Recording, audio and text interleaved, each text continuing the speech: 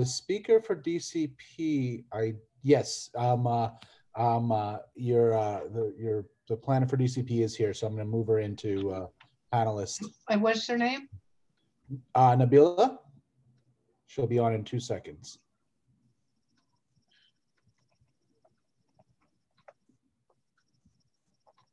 I hope. Hope we didn't lose her. Oh, here, it should, N A B E E L A. Yep. Yeah, right. Nabeela, are you there?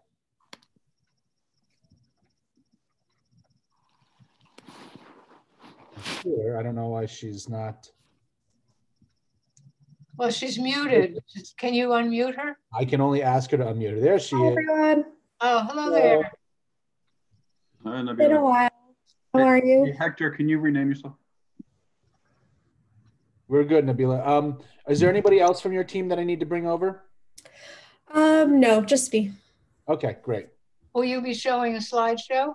Yes. Yeah, I, I'll, I, I have it. You sent it to me earlier, so I can either, if you would like to, I can give you the option to share your screen or, um, um, I can just do it from my end and you can tell me when to go. Okay, if you wouldn't mind sharing it, that would be helpful. That is fine. Let me just do a quick uh check. Um yeah, so you guys have quorum.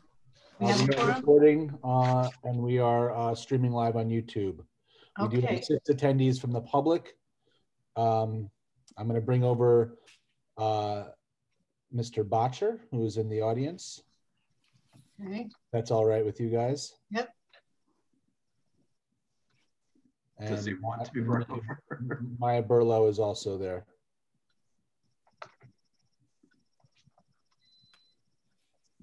So. Is that, is that whenever- it? you're- For, Yeah, yeah, I mean, uh, you're, uh, you're, the, uh, speaker for the second item is here as well, so we'll bring him over when, uh, we get to that item. That's Jay, right? That's Jay, yep, exactly. So if you guys want to start, that's whenever you're, it's whenever you guys want to start, you're, up. It's your choice. Um, Betty, why don't you start because you're doing the first agenda item.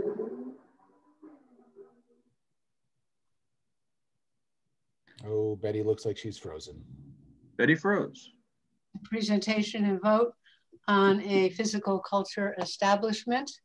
And uh, that is number two. Uh, So uh, I'm going to just give a thumbnail on the first item, zoning for coastal flood resiliency, co- commonly known as ZCFR.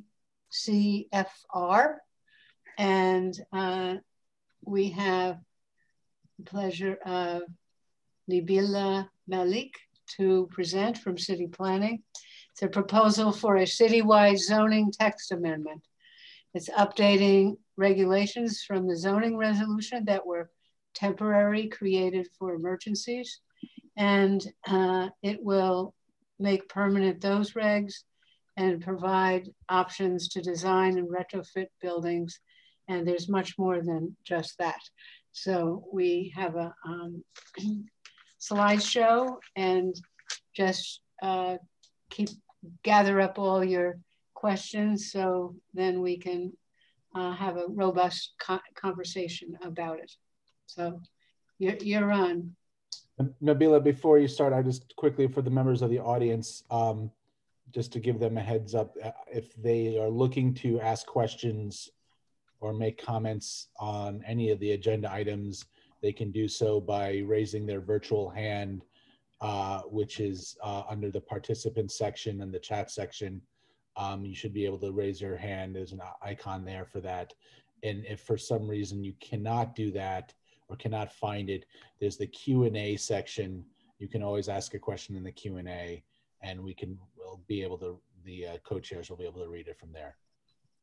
Oh, and we should just introduce Erik Bottcher from Corey Johnson's office. You want to make a wave, you know, and and we have Maya Burlow from Senator Hoylman's office. That's it for elected officials, right? Uh, Reps, reps. yeah. I believe. Oh, hold on. I have Bert Lazar in attendees. I gotta move him over. Sorry. And we have, Um, and we have one other member who just says, please rename, but the video's not on. If you can just name yourself, please. Yes, you have to either, yes, please rename yourself or let us know who you are and then we, I will rename you. Oh, it's Bert. There we go. Oh, no, there's still another There's person. Mike Noble. Okay. Okay. Oh, Brad. Brad. Brad. Thank you, Brad. Okay, so we're all ready for the CPC presentation. Give me one second. There we go. Okay.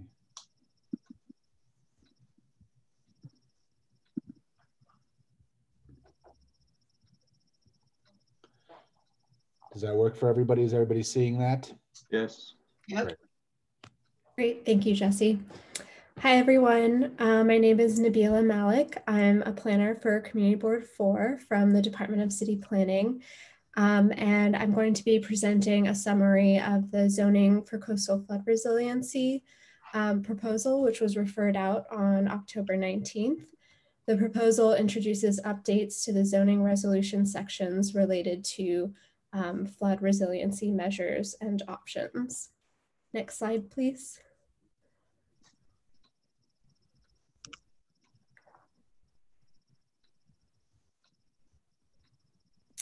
Um, so just to begin with some background here, uh, while there are many sources of flooding that pose issues in New York City, coastal storms present the most significant flood risk in terms of compromising human safety, property damage, and business disruption.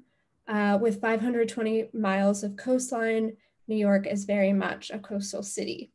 So when we're analyzing the city's coastal risk, we tend to focus on the area that FEMA designates as the high risk flood zone, um, the area that has a 1% chance of risk of being flooded every year. However, in 2012, Hurricane Sandy woke us up to a more widespread risk by inundating well beyond that 1% area. Close to half of the properties that are technically classified as being at moderate risk of flooding um, or having a 0.2% chance of flooding were inundated. In the two areas combined, so the 1% and the 0.2%, almost a million New Yorkers live at risk of being flooded by a coastal storm. As you may all recall, West Chelsea experienced um, record surge levels as high as six feet in 2012. Um, and with climate change, the floodplain will continue to expand. So by the 2050s, today's moderate risk flood zone will likely be high risk for flooding. Next slide, please.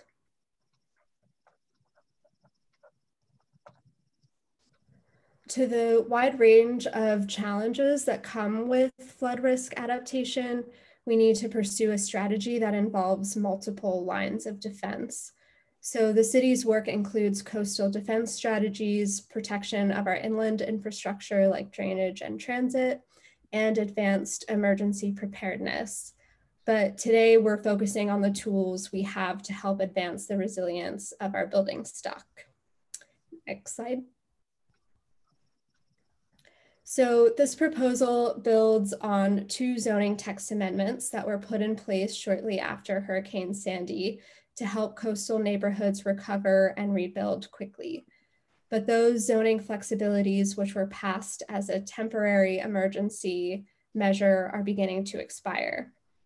Um, the Department of City Planning conducted years of research and outreach, which uncovered many issues that communities are still facing. The proposal now is to make many of those provisions added after Sandy permanent and to expand them so communities have even greater flexibility for adaptation. Um, ultimately, zoning for coastal, oh, sorry, if you could stay on slide four, thank you. Um, so ultimately, zoning for coastal flood resiliency will help those living and working in the floodplain to reduce damage from future coastal storms, be resilient in the long term by accounting for future risks from including climate change, and potentially help save on flood insurance costs. It would also assist with disaster recovery from future disasters, including the present situation with COVID-19. Next slide, please. So before I get into the zoning proposal, it's important to understand what regulations apply to the construction or retrofitting of buildings in the floodplain today. Um, there are certain things that are required for new or significantly modified buildings in the floodplain, and those requirements are listed in Building Code Appendix G, which is regulated and enforced by the Department of Buildings. Some of these building code requirements are based on the building's location within the flood zone and what the building code calls design flood elevation or DFE. DFE is the height that floodwaters could be expected to rise plus additional freeboard or additional elevation for protection. So for residential buildings, all living spaces must be located at or above the DFE any space below must be wet flood proofed, meaning it's designed to allow water to flow in and out. And those wet floodproof spaces may only be used for parking, storage, and access. These buildings can't have any spaces below ground. Non-residential or mixed use buildings can be designed with the same wet floodproofing methods, but they also have the option to dry floodproof and locate some uses below the DFE. Um, dry flood proofing means meeting specific design and material requirements so that water cannot enter the building during a flood event. Um, the strategy allows uses to be located close to the sidewalk level, but it can be expensive and especially challenging in locations with high water tables or high DFEs. Next slide, please. Um, so the building code requirements in Appendix G started to become widely applicable soon after Sandy, when many were trying to rebuild and suddenly faced these new standards. The post-Sandy zoning regulations DCP put in place were, in, were intended to make it easier for building owners to design to Appendix G standards without facing hurdles or conflicts from the zoning code. Um, since then, we've heard that there were still some issues that people faced when trying to recover. Um, our current rules mostly assisted buildings that can be physically elevated, such as detached houses. However, um, they were not enough in assisting owners that had to relocate all living spaces above the DFE or over elevate the lowest floor above future flood levels. Um, also, attached homes and multifamily buildings were not sufficiently addressed since they must evacuate spaces below the DFE and relocate them on top of the structure, which is a retrofit strategy that requires more flexibility. Um, and businesses were also not sufficiently addressed as they need high visibility from sidewalks, but also because many heavily rely on cellars or on being at grade for operations. Next slide. So after a long process of studying the floodplain and engaging with many stakeholders and the community, we were able to establish four overarching goals that help us move from Sandy recovery to a long-term resiliency strategy. So one, the floodplain community wants to be able to prepare buildings for flooding, even if they're not located in what FEMA currently determines to be the highest risk flood zone. Two, people also want the option to raise their occupiable space a little higher than the current flood level that FEMA projects because they have seen higher flood levels already and expect that risk to grow in the future. Three, residents and business owners want to be able to invest in resiliency incrementally so it's more affordable over time. They want options like moving their mechanical equipment to a higher elevation without necessarily triggering a requirement to raise or fully flood-proof the structure. Four, we know that we need a way for the city to be nimbler in responding to future events that might require rebuilding homes or other forms of recovery. Next slide. So um, now for each goal, I'll present a set of strategies that help to achieve them and go over a selection of regulations that we are proposing. Um, important to note is that these proposed regulations maintain optionality, just like the 2013 regulations. So owners can opt into these resiliency measures. They're not mandated. Next slide. Um, so the first goal speaks to where the proposed zoning text would apply. Uh, these regulations are optional to help buildings undertake resiliency improvements. The proposal expands the applicability of the current text to a broader set of buildings that are also exposed to flooding in the event of coastal storms. Next slide. So any lot located within either the high risk or moderate risk floodplains would be allowed to use the proposed special options for resilient building design. So the 0.2% floodplain serves as a proxy for the high end projection of the 2050s 1% annual chance floodplain, um, allowing the city to advance resiliency in the longer term. Next slide, please. So this is uh, Community Board 4's applicability. You can see there's more coverage in Chelsea and Hudson Yards in orange, and the yellow is what is already included in the existing optional rules. Um, the yellow is the 1% floodplain, and then the dark orange is the 0.2% floodplain. Next slide, please.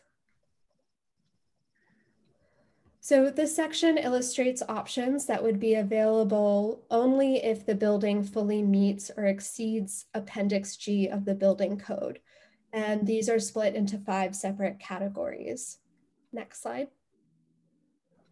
So starting with building envelope, these optional rules would allow building owners to physically elevate habitable spaces and other building support features above expected flood elevations. Next slide. Currently, the 2013 flood text allows maximum height to be measured from the DFE, the design flood elevation. Um, and the DFE is currently called the FRCE in the zoning text or flood resistant construction elevation. However, um, this is only available for buildings in the 1% floodplain, which have a designated DFE in the building code. To allow buildings in the 0.2% floodplain to take advantage of this rule, we will be setting a standard flood elevation of two feet to buildings in that 0.2% area. Next slide. So the current rules al also allowed extra height in situations where buildings are located in areas with certain high flood elevations. This extra height allows buildings to have a more useful ground floor. However, we learned over time that it also helps with long-term resiliency. Today, building heights can be bumped to 9, 10, or 12 feet, depending on the building's use and zoning district, making it a highly complex framework. Um, and because its applicability depends on the flood elevation level, site topography changes can lead to inconsistent outcomes that benefit some buildings more than others. Um, so the proposal would make those height allowances more consistent and equitably distributed so more buildings can be prepared in the long term and incorporate sea level projections in the design. To create a consistent framework, the proposal would allow building heights to be measured from a new reference plane that can be up to 10 feet above grade in the 1% floodplain and up to five feet in the 0.2 percent floodplain, as you can see in the, in the graphic. Next slide. So next I'll talk about ground floor regulations. This set of rules would help promote good long-term resilient design and neighborhood streetscapes. Next slide. So the current rule allows ground floors in existing buildings that are retrofitted to be wet flood proofed to be exempted from floor area. This helps buildings become resilient without having property owners lose a chunk of their building in the process. Um, this proposal would allow such exemption to apply to both existing and new proposed buildings. The intent is to apply the allowance more consistently and support new buildings adapting to climate change. Next slide. The current rules also include floor area exemptions for spaces that are dry flood proofed to promote active uses at the street level. So there are two sets of rules. On your left, you can see a provision that applies to existing buildings, which exempts the dry flood proofed space. But the buildings then have a hard time recouping the investment of making the building watertight because the uses for that space are constrained. Um, on the right, you can see a rule that applies to new and existing buildings, which allows any space to be exempted from floor area if more than half of the floor is below the flood level. And so we call these spaces cellars. The problem with the cellar exemption system is that it results in a squished ground floor with low ceilings um, that also ends up encouraging sunken ground floors.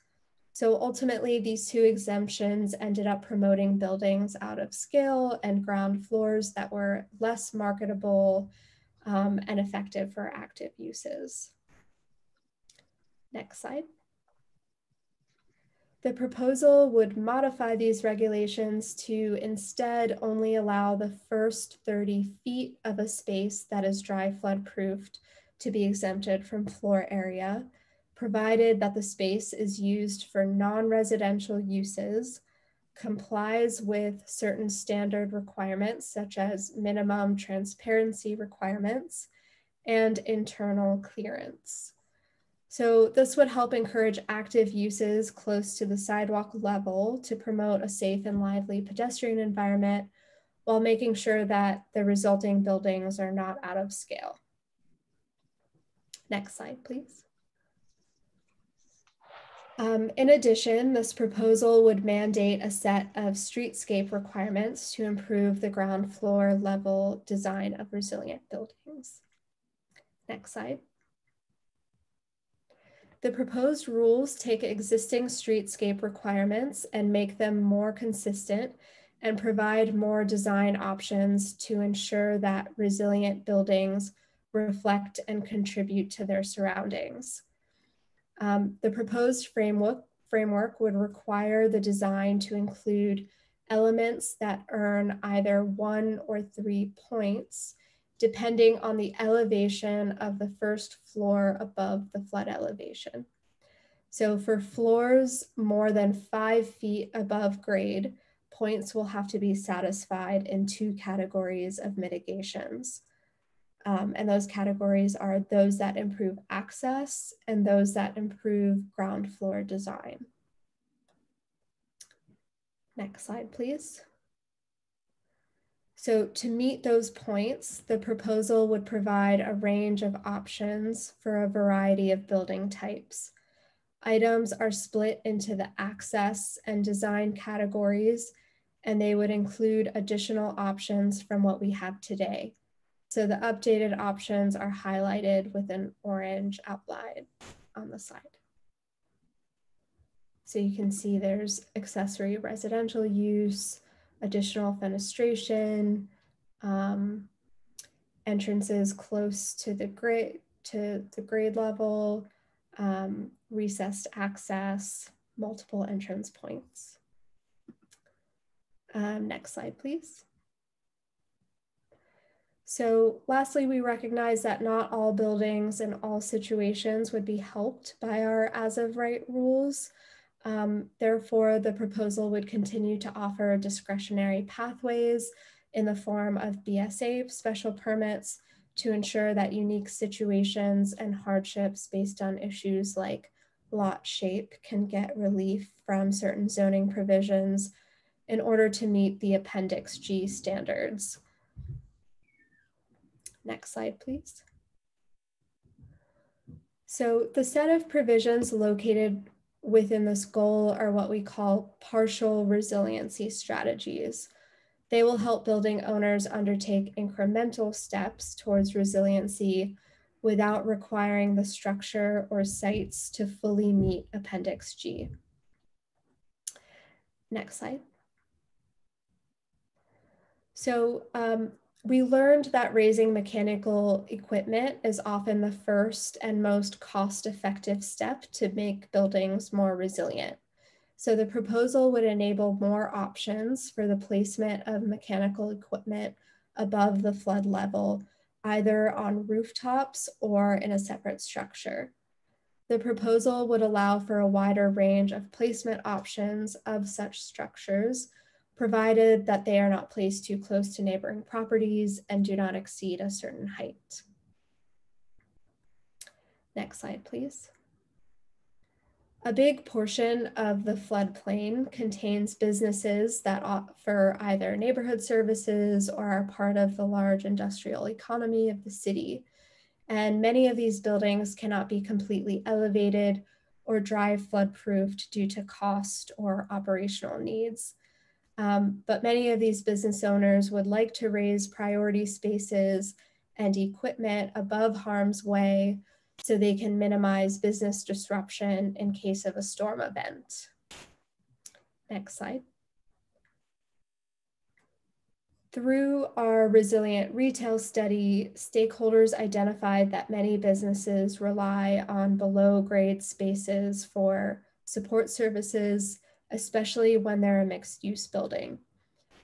Existing regulations prohibit most mixed use structures from using more than the first story for non-residential uses. And so if the building owners decide to fill in cellars to reduce the potential for damage, businesses wouldn't really have options to relocate the uses they had in their cellars.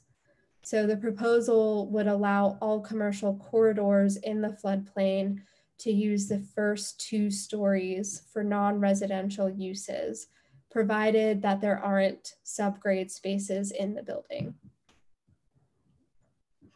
Slide 28, please. Um, the proposal would also enable different types of flood protection measures to be implemented. This would include allowances for flood panels and flood panels and landscaped berms, to be considered permitted obstructions in open areas.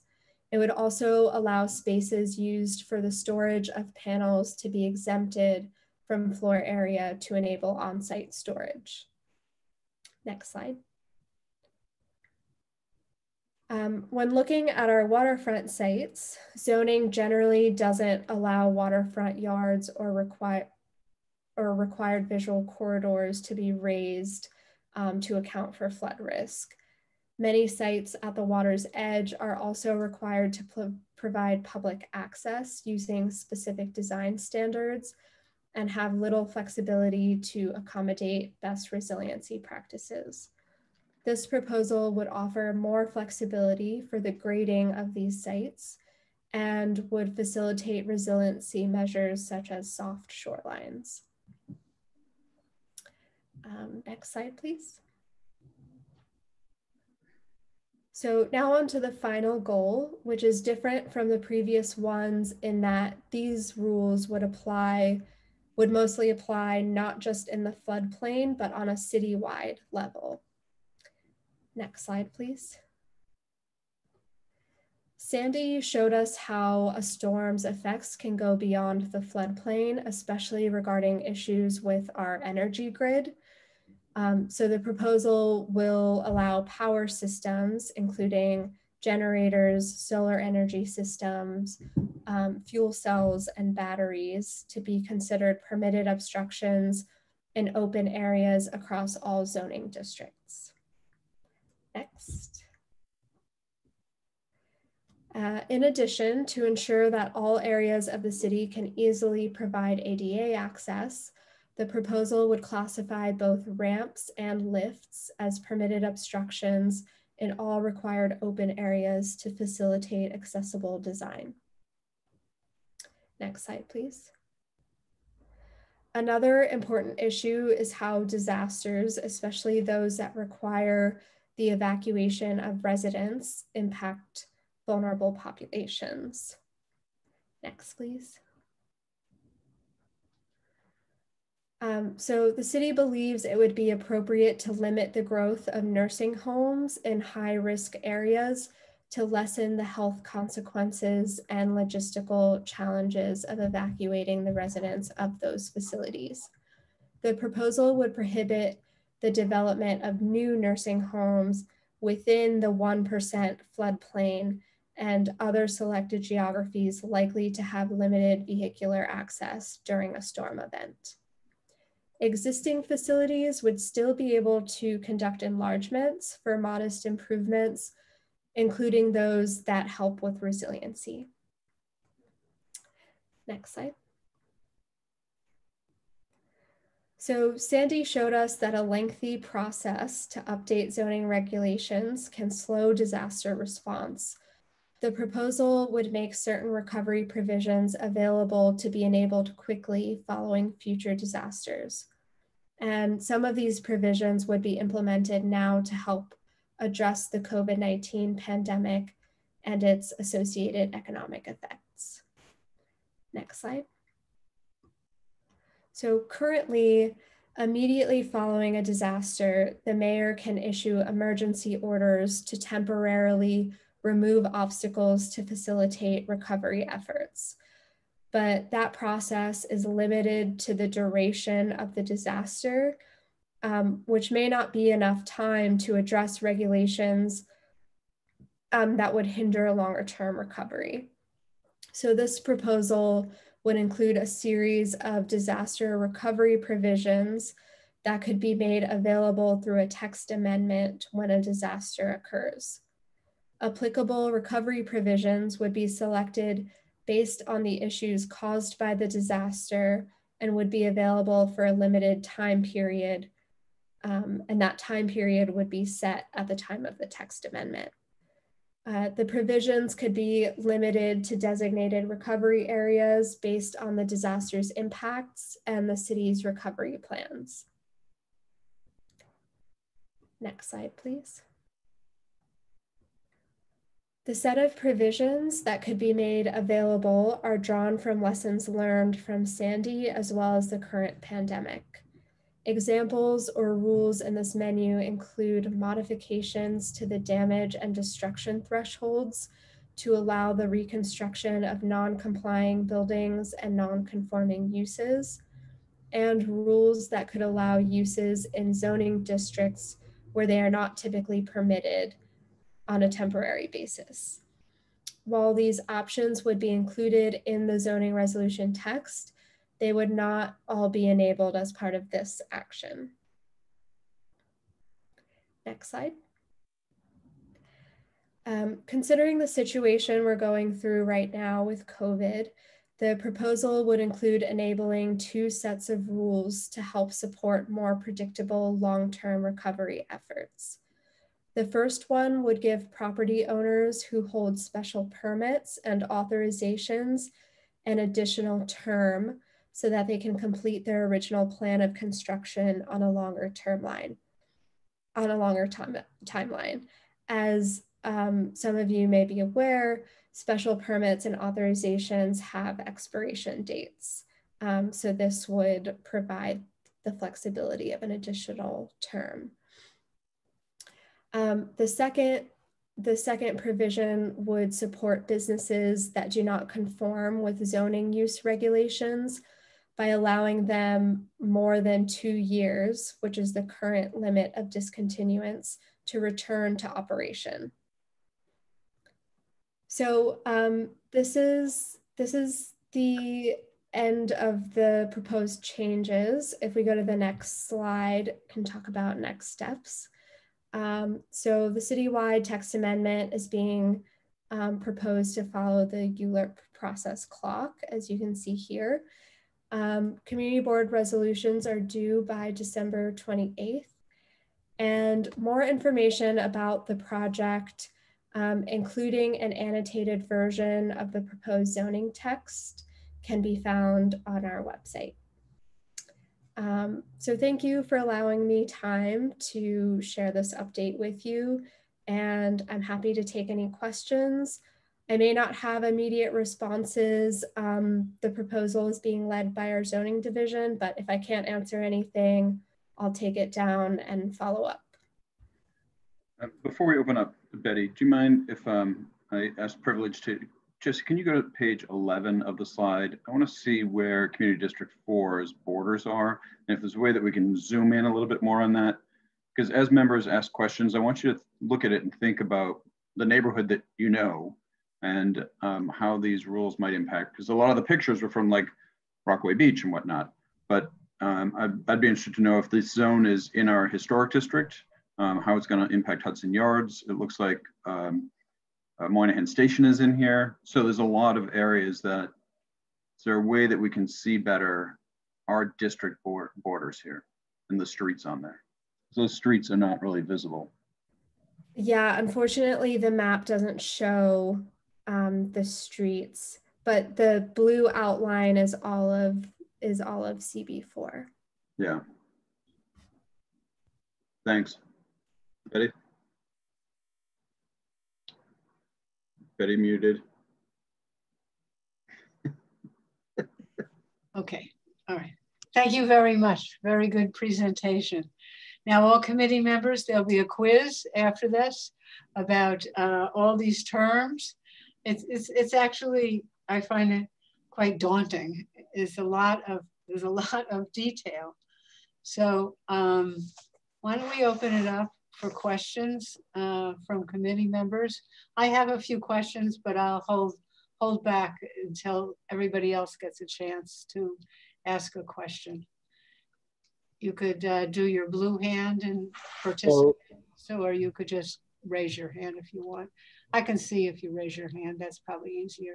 Well, hey. there's some there's some hands already raised in the box. Betty. Oh, all right, go there first. Okay. Yeah, since they're in order. Well, fortunately, David's hand looks like it's first.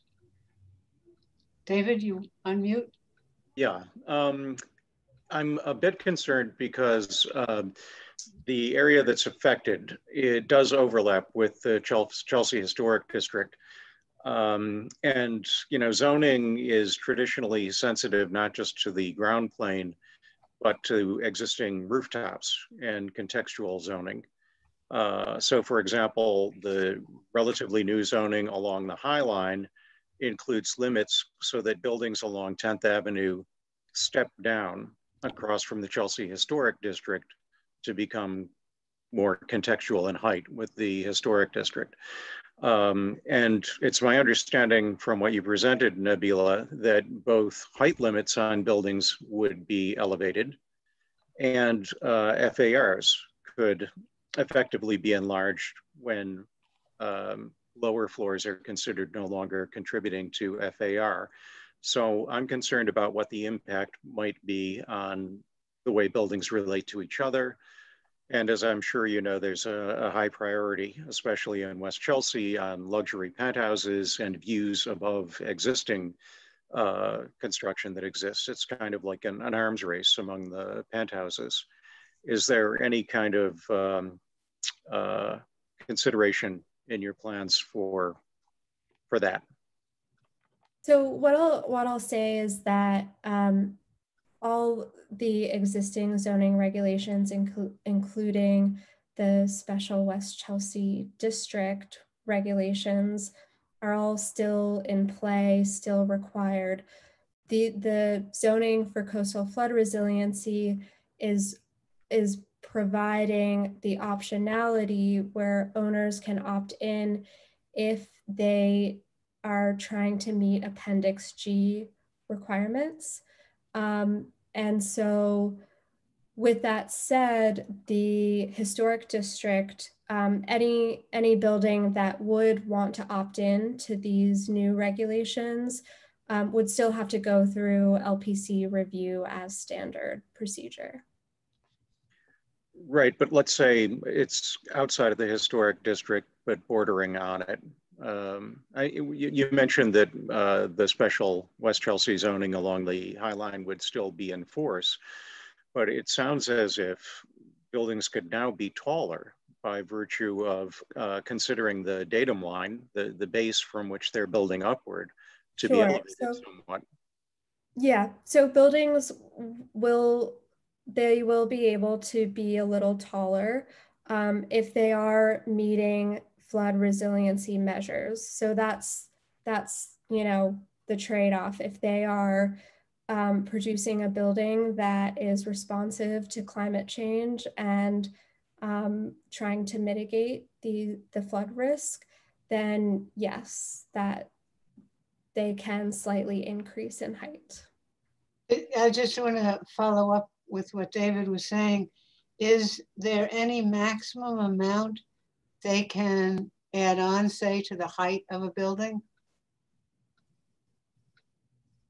So yes, it's it's basically you're following the district regulations, but you can begin the height from the design flood elevation. You would count the height from the design flood elevation. Okay, just to continue with with regard to the historic district, you know, I'm particularly concerned about how this would impact areas like the, the Chelsea Historic District, which is primarily made up of row house blocks. And uh, one issue that we've had is that developers will buy these houses, uh, which have an FAR of three, by the way. And that, you know, isn't too much above what the existing row houses embody in terms of their use of FAR. What they'll often do is to take the so-called English basement that's entered under the stoop that is slightly below sidewalk level, and they'll lower the floor of that to get the average volume of that cellar, of that basement space down into what DOB considers a cellar that does not count as floor area. And then they'll blow out the back and uh, create a, a really uh, outsized addition that begins to impinge on the historic rear yard space and just change the character of the block altogether.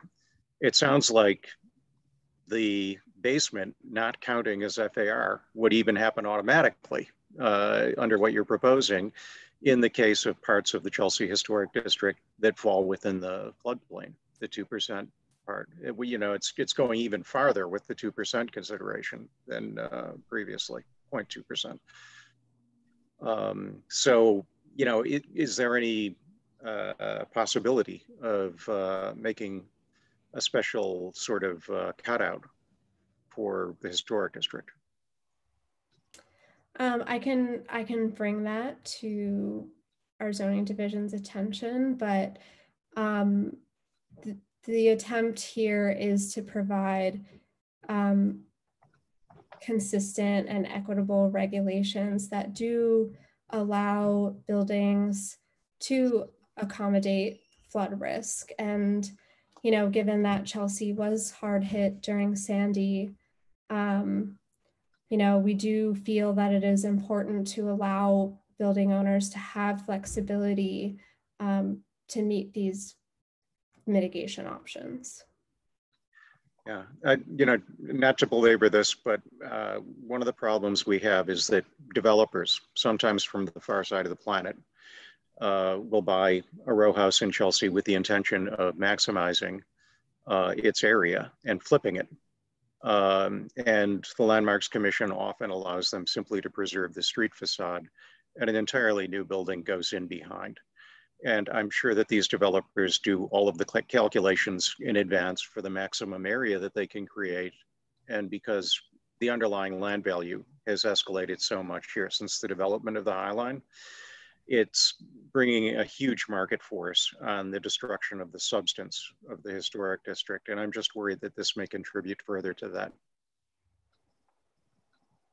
I, you know what I think um, off the top of my head, um, maybe city planning could look at those kind of cases and just um, see what the implication could be. It may not be an example that city planning has looked at in terms of the various housing types. So that's just my two cents about that. What do you think, David?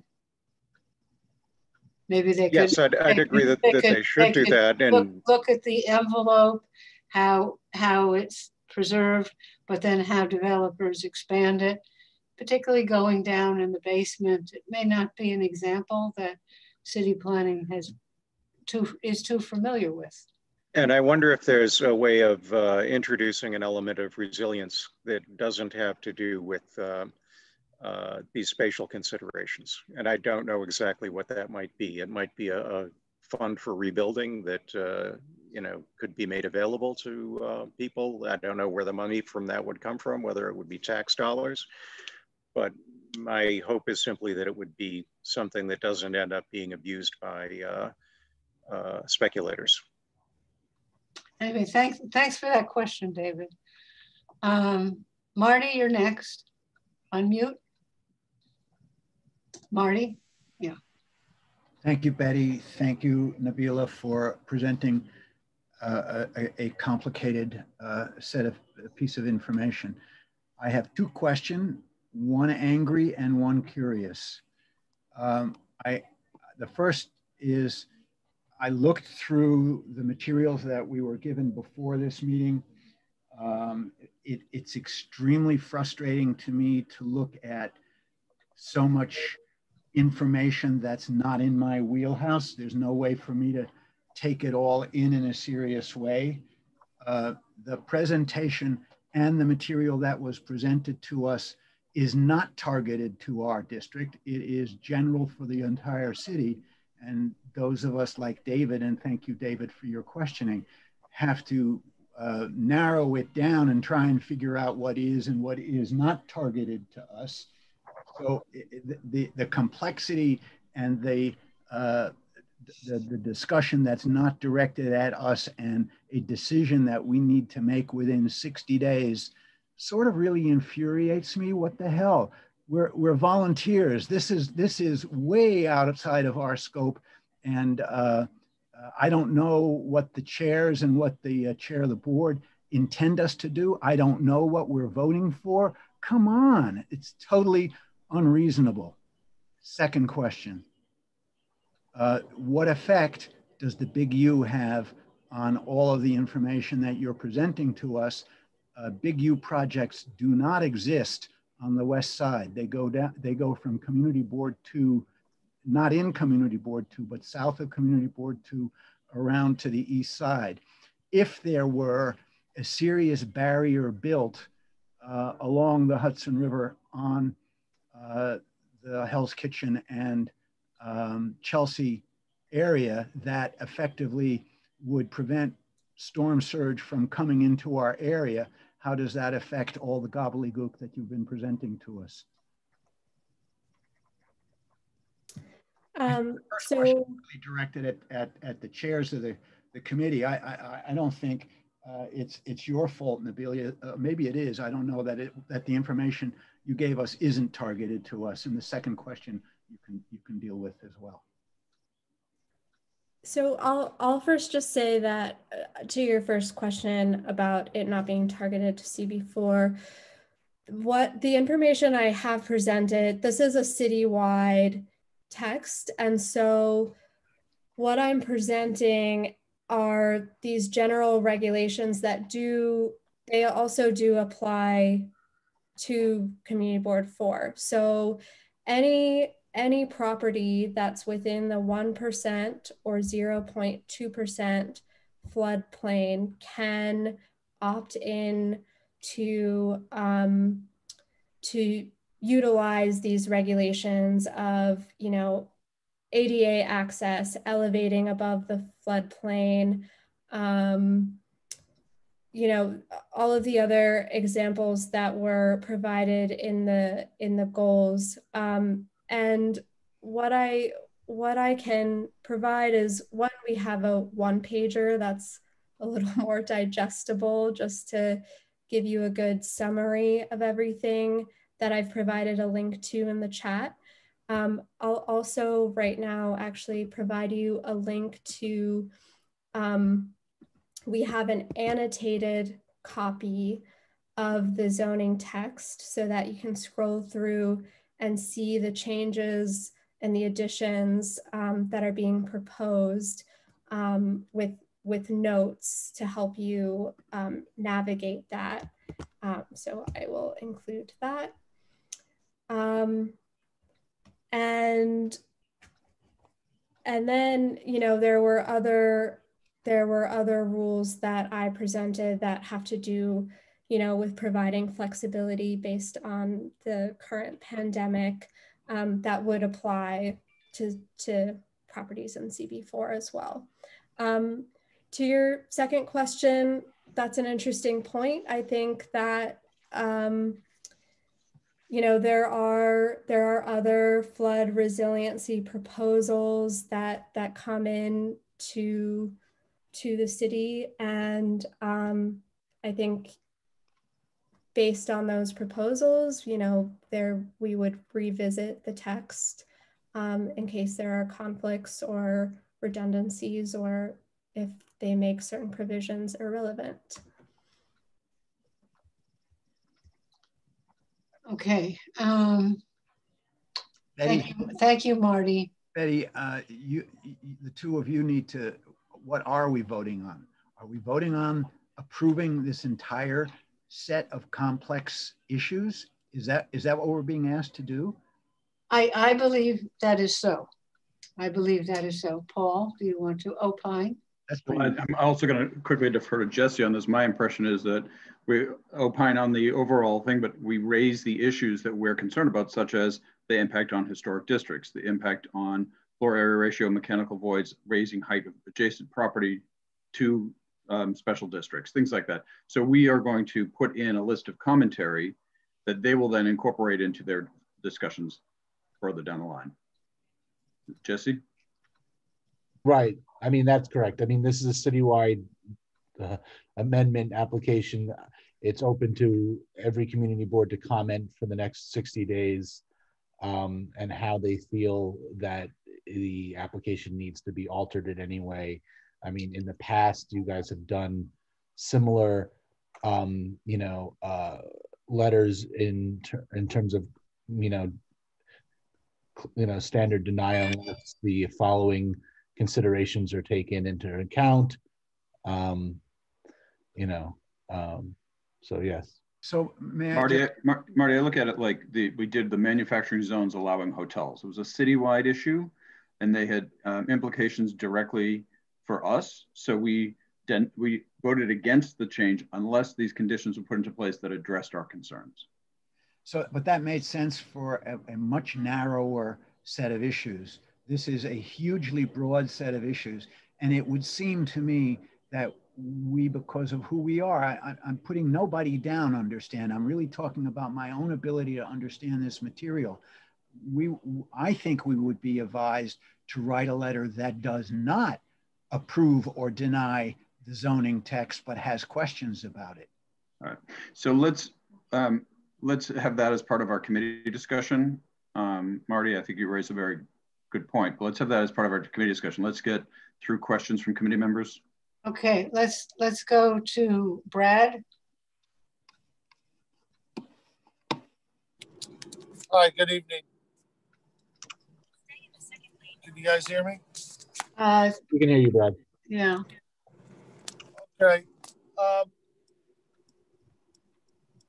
I don't like when we hear that we are being told that we can't put in senior housing or retirement housing in our district, because that is what our district could possibly need. Let's say we take that jail that's sitting on 22nd and it becomes senior housing. And now we can't do it because of this act of trying to do something right, but in the end, it creates a lot of wrongs, right? Let, let, let me just uh, clarify with city planning. I believe that the proposal is for facilities like nursing homes, which are different from senior housing. But uh, Nabeela can help us out on that one. yes Well, what I meant actually, hold on, what I meant to say is nursing homes. we shouldn't be told in our district that we can't put, if somebody wants to put a new nursing home, which we could use in our district in the floodplain, and now they can't. I mean, this is this is not right. This is not what I would vote for in any means. Uh, also, my second question is, uh, what is the insurance impact? You even created a bigger zone. Can the insurance companies now say you didn't do this and now your insurance is going up or we're not going to provide you insurance? What, what is the mechanism on that?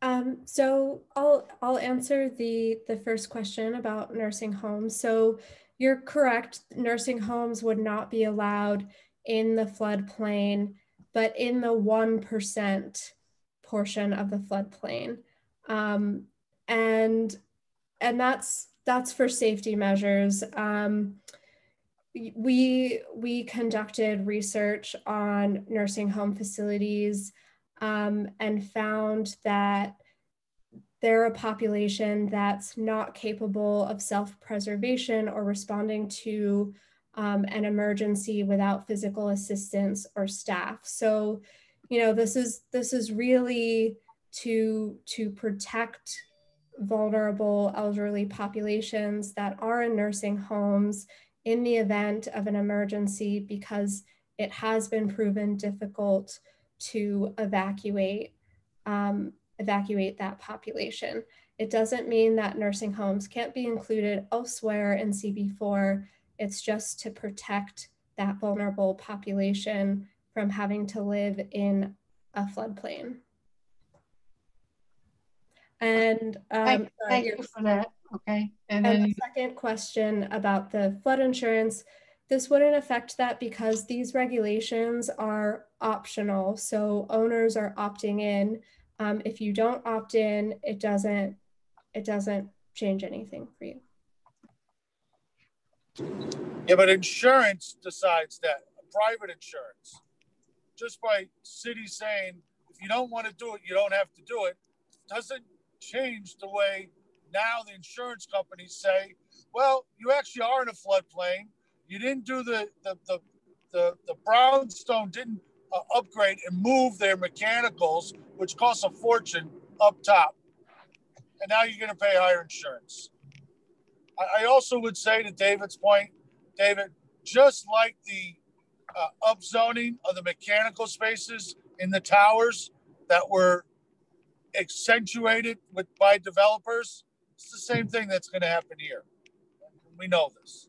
It's just that's no doubt it's going to happen. Okay, thanks, Brad, for those points. Um, let's go to Mike Noble.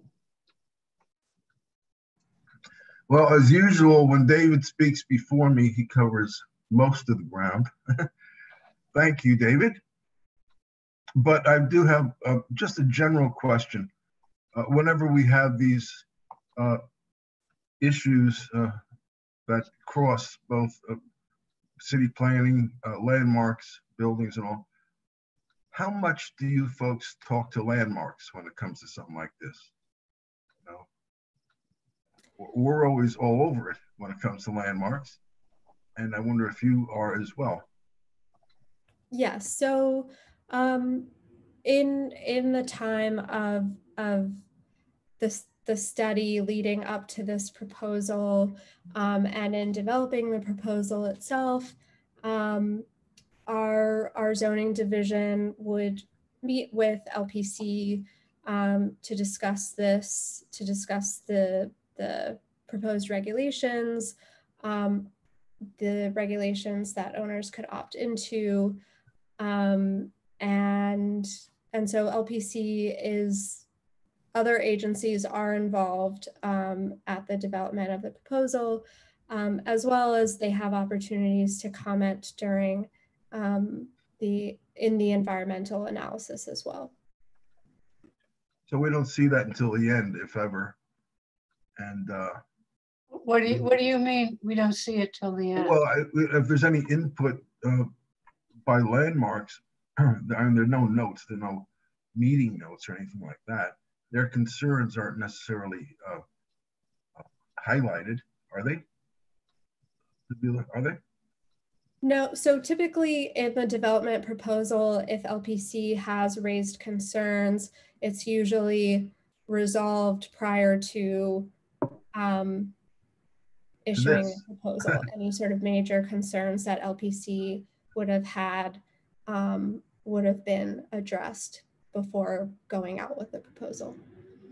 So was, was LPC involved in any dialogues or that resulted in any changes by city planning? I, I don't know the details of that.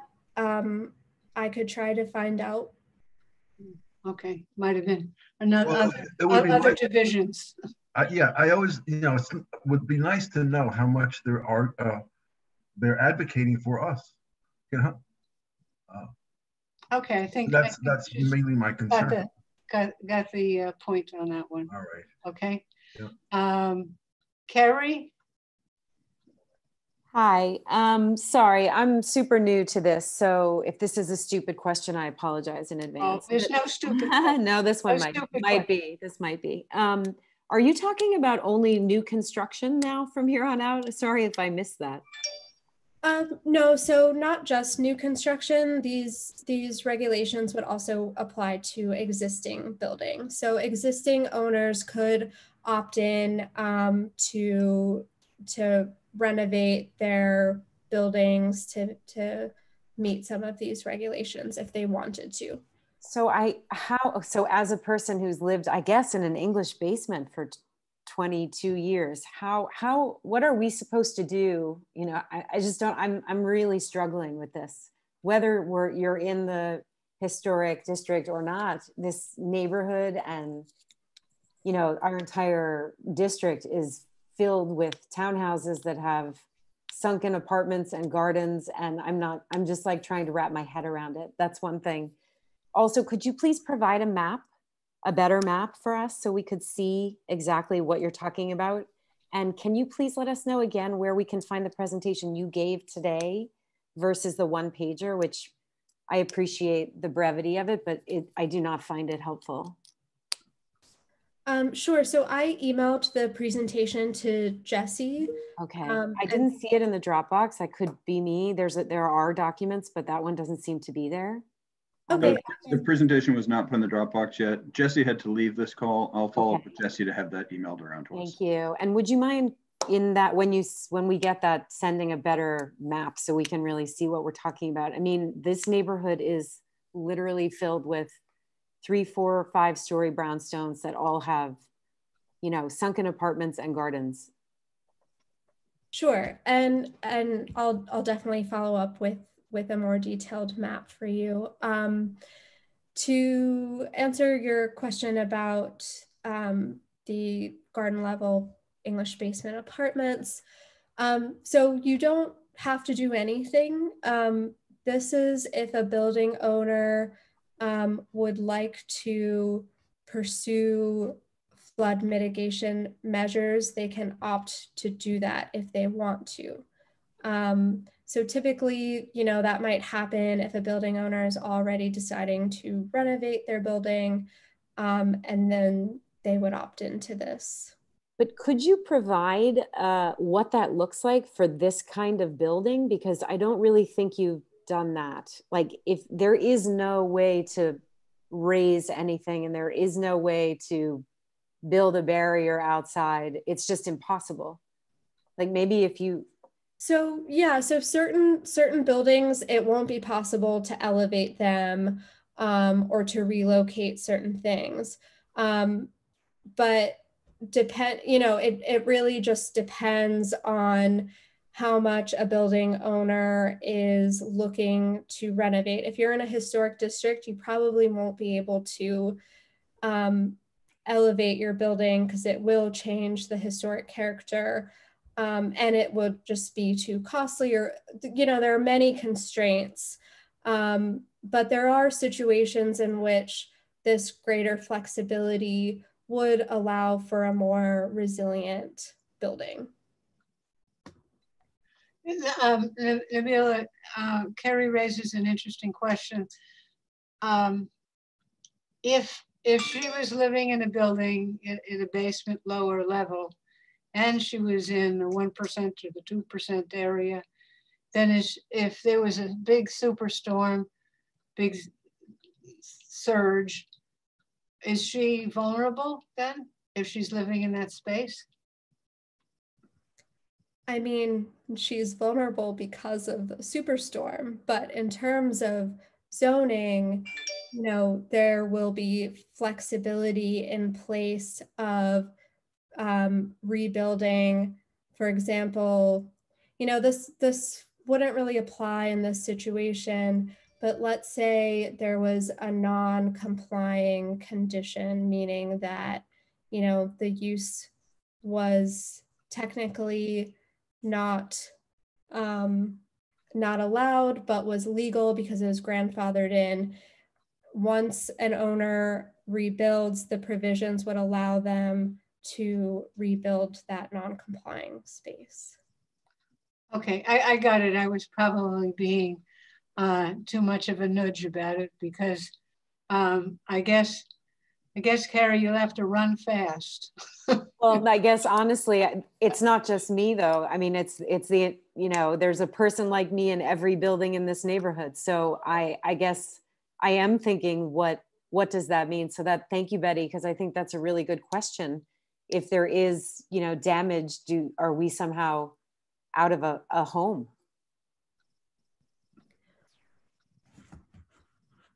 Sorry, I don't mean by the water. I mean by the by the city and and the you know being not allowed to rebuild or or fix it. No, there there are definitely um, you know a lot of a lot of the provisions that this new um, proposal is providing is in response to constraints that were seen after Sandy. Um, and the whole goal is to really provide property owners with more flexibility um, sort of in the aftermath of a crisis or of a natural disaster. Okay, thank you, thank you, Nina. Um, Hector? Yeah, hi, um, Nabeela. I, I guess my question is, uh, well, I have one or two questions. So I'll try to make it brief. Um, you're saying that some of the utilities, like the air conditioning units or the boiler units, will, and some of these new constructions will be relocated to the roofs. Uh, would that also include new constructions like high rises that, um, like for example, 432 Park Avenue, where there was they oversized these structures because they made a maintenance space in the middle, smack in the middle of the building to accommodate those units. Wouldn't this leave an opening for that kind of situation again that'll be blessed by this program because of the rezoning? Um, or is there somebody going to be looking at this more closely when they authorize these kind of uh, constructions? Sure. So um, that that wouldn't that wouldn't conflict with the residential mechanical voids rule that I think you're referencing, where um, city planning proposed a, had approved a text amendment that would address um, developers putting um, inflated mechanical spaces in the middle of buildings. So this would not um, this would not recreate that risk because it's only allowing for um, mechanical uses to be located on rooftops. And the whole, the whole issue with the mechanical voids where developers were putting them in the middle of buildings was to prop up residential units. Um, and so when you're putting mechanical space on top, that's not that's not really an issue. Um, so yeah, that that wouldn't conflict with this. Okay, thanks for clarifying. Um, and my, I guess my next question is, let's, um, is the city going to be assisting some of these homeowners? Let's say if they do opt in, because it sounds like it's it's an optional thing. It's not mandatory. Is it going to be optional for the existing buildings that are already here? They're going to be grandfathered in as an exception, or and is it going to be mandatory for new structures? Um, I guess my, uh, it's twofold. My question is that if it's going to be uh, in that situation scenario, but also the funding. Are you going to be assisting somehow the uh, folks that that are homeowners with some of these conversions, if they're possible at all? Because we're dealing with some really old buildings here, some uh, historic landmarks actually. Sure. So um, the so one part of your question in um, in addressing the um, the construction of buildings. This isn't this isn't mandated. This is this is optional. So if you have the funds to do it, you can pursue it and gain this flexibility um, to mitigate for flood risk. Um, in terms of providing funding or support, the Department of City Planning, do, we don't have the ability to do that. Um, I can look into um, agencies that would provide the support, um, but I'm not I'm not aware of any offhand. Yeah, the reason I brought that up is because uh, Harborview uh, Housing over in Brooklyn, they uh, received a huge amount of money for, from FEMA after Hurricane Sandy hit, and they have converted a lot of their generators and boilers to the roofs with that money, and they created floodgates and all sorts of scenarios on the grounds. So that's what I was wondering. I guess we would have to wait for a disaster hit, and then possibly FEMA would step in and provide such funding. I mean, that's an option, I guess. So, I mean, I'd hate for that to be, you know, after the fact, but uh, I guess that is at least will be an option for some folks. Mm -hmm. So I hope it is. Yeah, there, there was money given, you know, for after Superstorm Sandy. There was there was funding. Okay, Bert.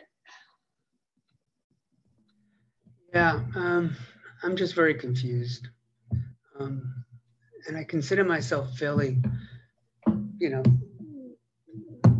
well versed, and I have an ability to read stuff and understand.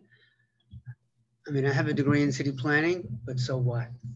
Um, one, I mean, I also agree, and I have some of the same reactions of my fellow um, committee members, that this is generic. This is not anything specific to Chelsea, Community Board 4. Um, and we all know that one size doesn't fit all. Rockaway Beach is not West Chelsea. West Chelsea is not Rockaway Beach. Um, it, this is not a nuanced piece of uh, proposal. It's not a nuanced proposal at all. Um, I also feel like Marty is like, this is a lot. How do we chop it up? How do we wrap around it? Um, and I still, in answer to um, Victor, uh, Hector's question, I didn't get a clear answer. What is mandatory and what is optional. Are you saying to us that everything you're putting out is optional? Optional both for new construction and optional both for uh, people who want to renovate. Because I remember city planning coming before us, and maybe it was only those temporary uh, flood mitigation measures. But I remember it was optional for existing structures, but mandatory for new construction. And this doesn't seem to be placed in that same situation category. And, and it's like you keep saying optionality and you're flexible and but if we're trying to prevent damage from flooding, why is it optional? Certainly, uh, why is it optional for new construction? I could see old old buildings, maybe grandfathered in. You take your risk. Like across the street from me, 24th Street, 25th Street, there's an underground stream that no one, of course, knew about until there was, you know, overflow, and the, stream kept had been buried for 120 years, and now it came up above the ground. Okay, so you take your risk. Um, but why is it? What's going on here? Okay, Bert, that's that's a good question for clarification. Can you uh, cover that, Neela? Yeah, so there's a, so there's two things. There's the building code appendix G, which is mandatory for both new buildings and substantial improvement improvements in existing buildings. Is that what we discussed two years ago or three years ago? No, so so what we discussed was the um, it was the uh, flood resiliency regulations that are temporary that are set to expire. And so this is an update to that. So the zoning regulations and Appendix G are separate. Appendix G is the building code and new buildings are required to meet those conditions. What we're talking about here are the zoning regulations that provide the flexibility needed to sometimes meet Appendix G rules on flood resiliency measures. So the building code does require, you know, fixed flood mitigation regulations. Um, and then the zoning resolution is providing further flexibility to help meet those um, particular rules in Appendix G. Because sometimes that's, that's, that's, that's, that's good the way you explained it. It helps us to understand it better. So you're saying that Department of Buildings, their code G, Appendix G is mandatory. And city planning is coming along with another layer, so to speak, saying that if you need some wiggle room from that mandatory, here's some options you could take. Is that the way it goes? Exactly. Yes. So that was that was what I was explaining in the the beginning of the presentation.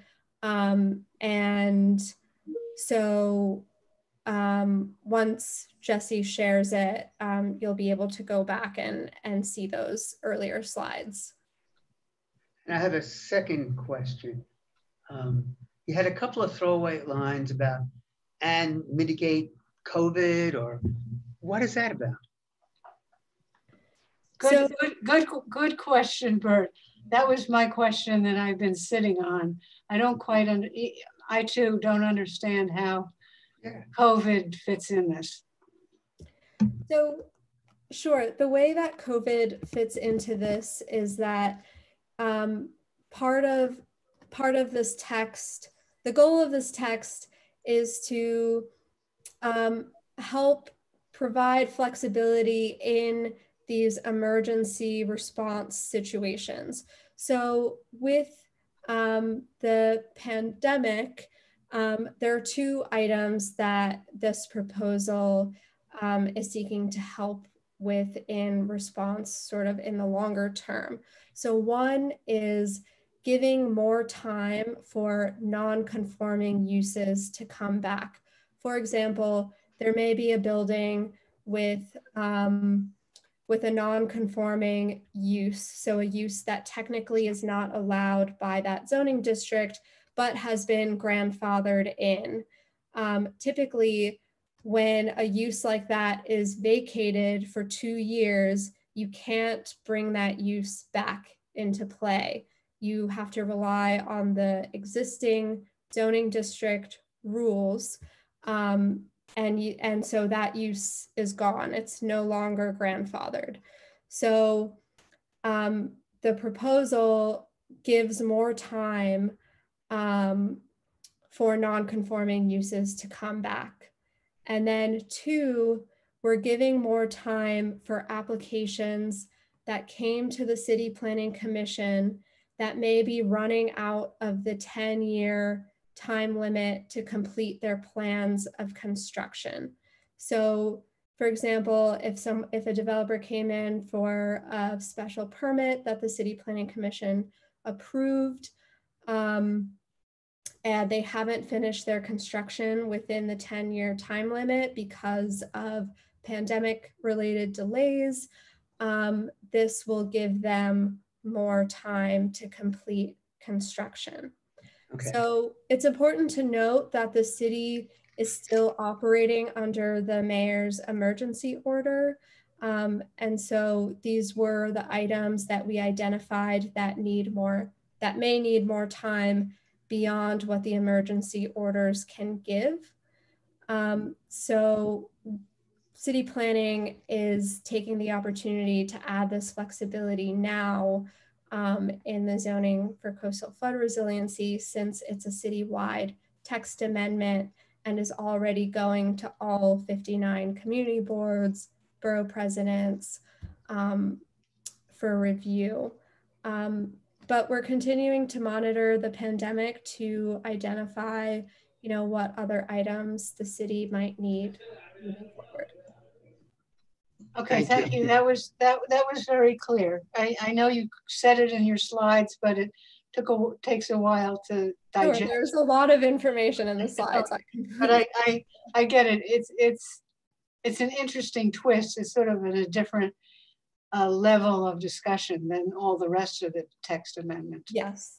And would, would that be actually, that's in the text amendment? In other words, you can read it, if this gets approved, you can read it in the, in the uh, zoning text. Yes. So the link I provided with the annotated text, if you if you peruse it, you'll you'll find that in there. Okay, okay. Um, now I see, Brad, you have your hand up, but uh, just before, before I call on you, is there anyone who hasn't spoken who wants to speak? Paul? Uh, Yeah, I just have a few questions. Uh, Nabeela, can you, when you provide the map for the district for us with better clarification of where we're impacted, can you also provide um, the DFE height that you forecast for those areas? Um, Because we- the question was asked about how much higher up a building could go gain, by gaining this floor space at the ground and then adding height above, and I think it was 10 feet above DFE lines, but the DFE line might be 10 feet above where we are today, so that could be 20 feet of additional height. So to, to address the question of additional height, can you provide us a DFE line as well as clarification on the height added on after the building's built? You muted, you- sorry. Right. Um, sure. I'll I'll provide that information. Um, but so in terms of the DFE line, um, basically, sorry, I'm just trying to find the slide where I showed that. While Sorry, Na- go ahead Nabeela is finding her slide, I just want to point out that Jesse had to leave to go to a meeting for his child. And so um, Paul is our new host now. Um, right, so uh, Nabeela, I mean, I don't think necessarily, but you did say there, was- there was, in in that graph, there was the uh, 9, 10, 12 foot height issues, and then you changed it to 10 and 5. But my question is whether that's from a in- increased height water line. So for example, Hudson Yards, um, if the water line there becomes uh, 20 feet high at the flood, and then we add 10 feet onto that, do they get to build 30 feet more onto each of their new towers that are coming in? Is that No, so um so there the height is measured from set um DFE lines. So for example, um the building height would be measured from a reference plane located um so if you're in one in 1% of the floodplain, the reference plane where you would begin to measure the height from is 10 feet. So you would measure from the grade 10 feet, and then so you would add 10 to the maximum height. So from current grade, you add 10 feet. It's not, is it not the new water line grade and then No. 10 feet up from that? No, it's from the current grade 10 feet plus height. And then if you're in the point 0.2% floodplain, it's from five feet. So, but from existing grade, not from, Yes. okay, not from new water line grade. All Mhm. right. Um, the, the other thing that I wanted to ask about was the um, sort of protections in place for streetscape. Um, thinking about someone retrofitting a townhouse in Chelsea, uh, and they build one of the, you, you had an image of a, a sea, almost a seawall in front of the property. And is, is there a height on those such that that seawall, if that's a 10 foot high wall in the 1% zone, and we have a whole series of 10 foot tall walls on our sidewalks, that's not going to be a very um, comfortable neighborhood to live in. And so how are the how is the streetscape addressed in this? Sorry, let me see if I can um, share. If not, I have your presentation up and I can sh- I might be able to share too. Okay. But if you look, if you're pulling yours up, it's on on slide um, 28. That's where I was. Paul, Right. can you share it so we can all see it? Yeah, I, I, is Nabil, I think Nabeela is going to try to share. If not, I can. Um, yep, I can. Hold on a second. Um, let me see if I can do it. I can do it right now. I think I remember the visual on that. It's a little, a little, uh, a rectangular, rectangular. This one here. thing. There it is. That's it. So all of Chelsea, every townhouse has one of these walls and they're all 10 feet tall. It will certainly change the dynamic of Chelsea. Well, how tall is that? That's, that's not 10 feet, is it? No, that's what I'm, that's why I'm asking. Uh, How tall of these? No, so so the specifics of that are are in the text, and I'm sorry I don't have um, have the the limit the height limit on those, um, but I can I can look into that and get back to you. But I I'm positive that that we would not be allowing 10 foot Well, walls going Yeah, but. I mean, water, if, it- if the flood comes in and it's 10 feet high and the wall is three feet tall, all those flood walls are just going to be overrun with water and all the water will go into those basements anyway, so they'll be useless, right? Like, does that, so I'm trying to get some clarification on that particular point as well. Yeah, so so the, the point of this is that, you know, you can, as a building owner, you can find the the design tools that you need that would make sense for your building to mitigate the flood risk. It's not that, you know, here are all the options and you can use all of these whether or not they make sense. Um, so it is it is really about providing the flexibility for you to to use these options in a way that makes sense for your building design. Okay, but that, that doesn't quite answer my concern that somebody, some building owner could say, for my sensibility and my safety of my property, I want to build a 10 foot tall wall to protect from a 10 foot So flood. there's no there's no 10 foot tall wall that's permitted.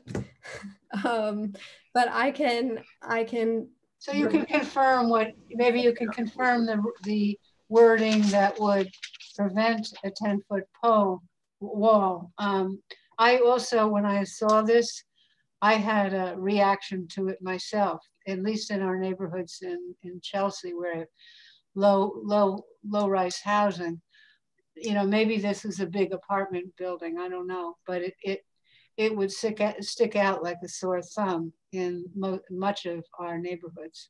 Yeah, again, uh, to follow up on that, the, the graphs that you presented on the front porches and the stoops and the winding staircases um, don't necessarily, can't be necessarily addressed in Chelsea. We can't have winding long porches and stoops. So the point system that you have for Rockaway Beach is not a point system that I think can work here in Chelsea.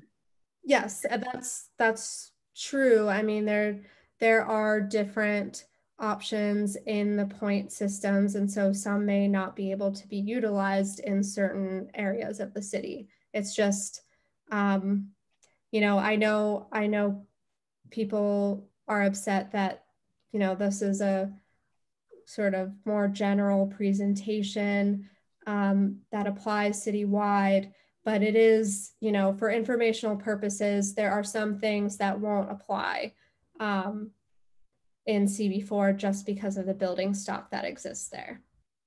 Okay. Um, those are my two immediate concerns. Okay. I'm concerned about mechanical void height, but that's been discussed. Concerned about impact on historic districts. Um, and there are some questions in the Q&A box, Betty, from Chris LeBron. Do we want to bring him in? Do you want me to bring him in or do you want me to just ask his questions? Well, we do also have uh, a blue Brad's hand up for uh, Twee and Brad's hands up. yeah. what, why don't we get to her hand and then to, to Chris? Okay, I'll bring I'll bring him over then as a panelist. Just like everybody else, I have many questions, but I'm only limited to one. Um, the slide that you had there, also when you scrolled up a little bit, I noticed that they talked, it was a little bit about the waterfront and that seemed to be a little cursory um, in talking about um, the waterfront and there was a picture with all the rocks there. Um, it brings to mind for me the movie, the Spike Lee movie, When Levees Broke from Hurricane Katrina. Instead of having to do all of this building type remediation, so to speak, why not have any sort of levees that surround even maybe just that waterfront or something similar to that? That part wasn't really clear. Could, could you just repeat that a little bit? I, I lost some of it. I, I got the waterfront. Why can't we have, and then I got lost. Levees. Levees, levees. Like it makes me think of the movie uh, When the Levees Broke having to do with Hurricane Katrina and Spike Lee, where you could have uh, something along that waterfront. That particular waterfront presentation part was a little cursory. It wasn't clear what limitations there were to doing something similar to that versus having to do individual optional remediation on buildings. That's a, a that's a, a, a, big U question or similar to it. I don't know what big U is.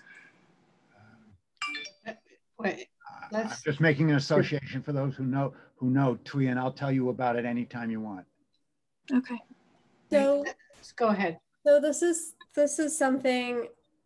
So zoning for coastal flood resiliency is focused on zoning lots, building stock, and things that owners can address on their sites. In terms of levees and things like that, that's not something under the purview of the Department of City Planning. And so that's why it's not written into this proposal. These are initiatives that other agencies may be looking into, um, but it's not something that's relevant to this proposal. This is about what what flexibility do building owners have in order to meet Appendix G building code standards when required. Um, so, so that that's kind of outside of the, the scope of this particular proposal. That's not to say that the city isn't looking into, you know, larger flood resiliency measures citywide, but this is this is strictly about the zoning resolution um, related to the city's building stock. Well, just, just as a follow up on, on that, because it was a good question. Um, for the waterfront, it was a very brief mention. It, it seemed like it was a different topic than all the stuff about buildings. No, so um, so for the waterfront, when um, when a property owner has a waterfront yard um, or is required to have visual corridors to the waterfront, um, there, there isn't really much um, flood risk regulation that or options that exist today. Um, and because many sites require um, owners to provide public access using specific design standards. Um, there isn't much flexibility to accommodate best resiliency practices through mm-hmm. those design standards. So the proposal would offer more flexibility for the grading of the site. So being able to, to create public spaces by the waterfront at higher grades um, and, you know, would allow um, them to facilitate resiliency measures um, such as soft shorelines. Okay, okay, that that kind of links it to why it's there, I guess. In other words, it's relating to property owners who are near the waterfront. Uh, maybe in the future it could be sort of clarified a little bit more that that's the tie-in. Anyway, it's not a big deal. Um, I think uh, somebody who hasn't spoken is Christopher. Do you want to ask a question? Yeah, ju just one. I was, I was kind of curious as to whether or not um, the community boards NYCHA campuses fall into this expanded 1% flood zone. Yeah, so actually, um, parts of Chelsea Elliott and Fulton houses fall into the 0.2% flood zone. As it stands now or in this proposed uh, change? In this, in this proposal. Okay. And so um, if, if any of these campuses were to flip over to like RAD PACT, I know that there are larger conversations to make sure that it doesn't, but let's say hypothetically it does. Um, would these new campus and building managers um, have a say to activate this coastal flood zone uh, plan? And would that uh, has that been put into consideration as to the loss of Section Eight housing when Section Nine housing is transferred over um, from NYCHA to RAD PACT? Um, so, I mean, any, I guess the answer is yes, in terms of any building owner, including NYCHA, could opt into these regulations. Um, so I don't know if that answers your question. Well, I mean, it kind of does. It, it just kind of said it tells me that if we if NYCHA were to move any or the mayor were to move any of these properties over to RAD PACT, that a developer would be able to trigger this uh, coastal resiliency zoning uh, to do what they please with those buildings to meet G, and G seems like you know a, a bit of a convenience for them. Just just to clarify, Chris Christopher, um, if RAD or PACT or any of those things go through, the housing authority continues to own the property. So this is a good thing. Yes, but but the money is put uh, the money spent on maintenance is through the management company in RAD PACT. Uh, so can, we can debate sure that later. You, I'm not sure what you mean by Appendix G being convenient for them. Appendix G has pretty strict flood resiliency requirements for new buildings or buildings that will be substantially altered. And so that's something that's quite costly and um, and is purely meant to address flood resiliency requirements that the building code has laid out.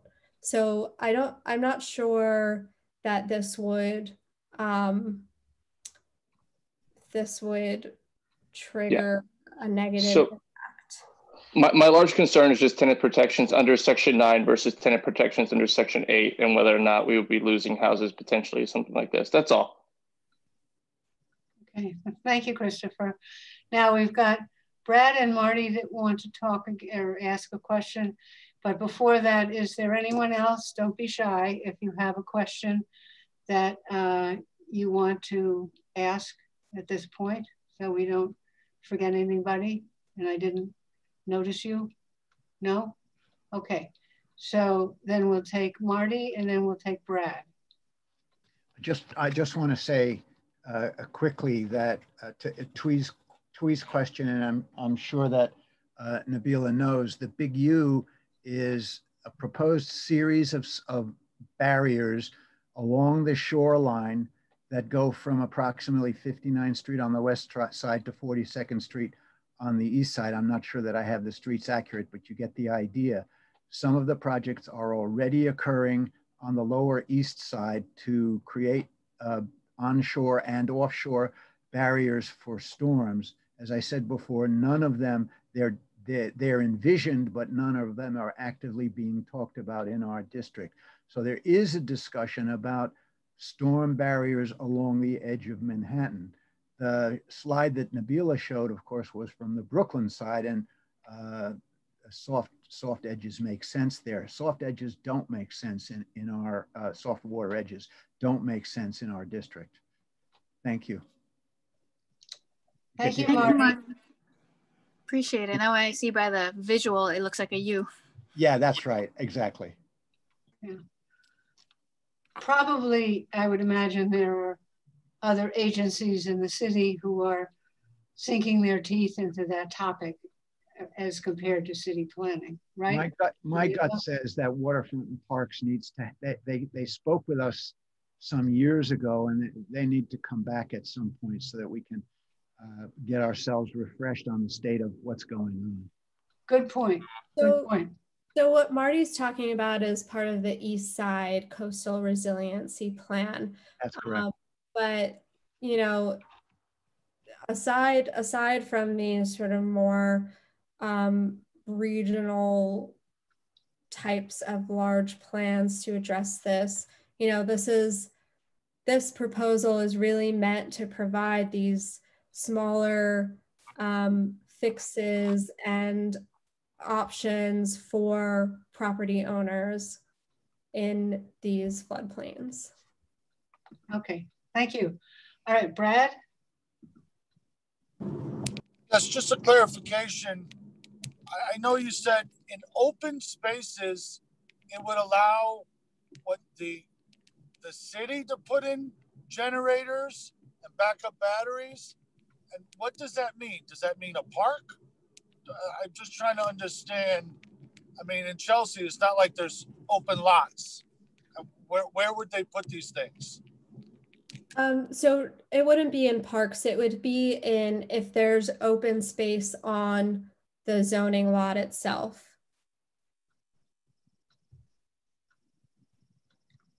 Okay, I, yeah, I get that. You get that, Brad?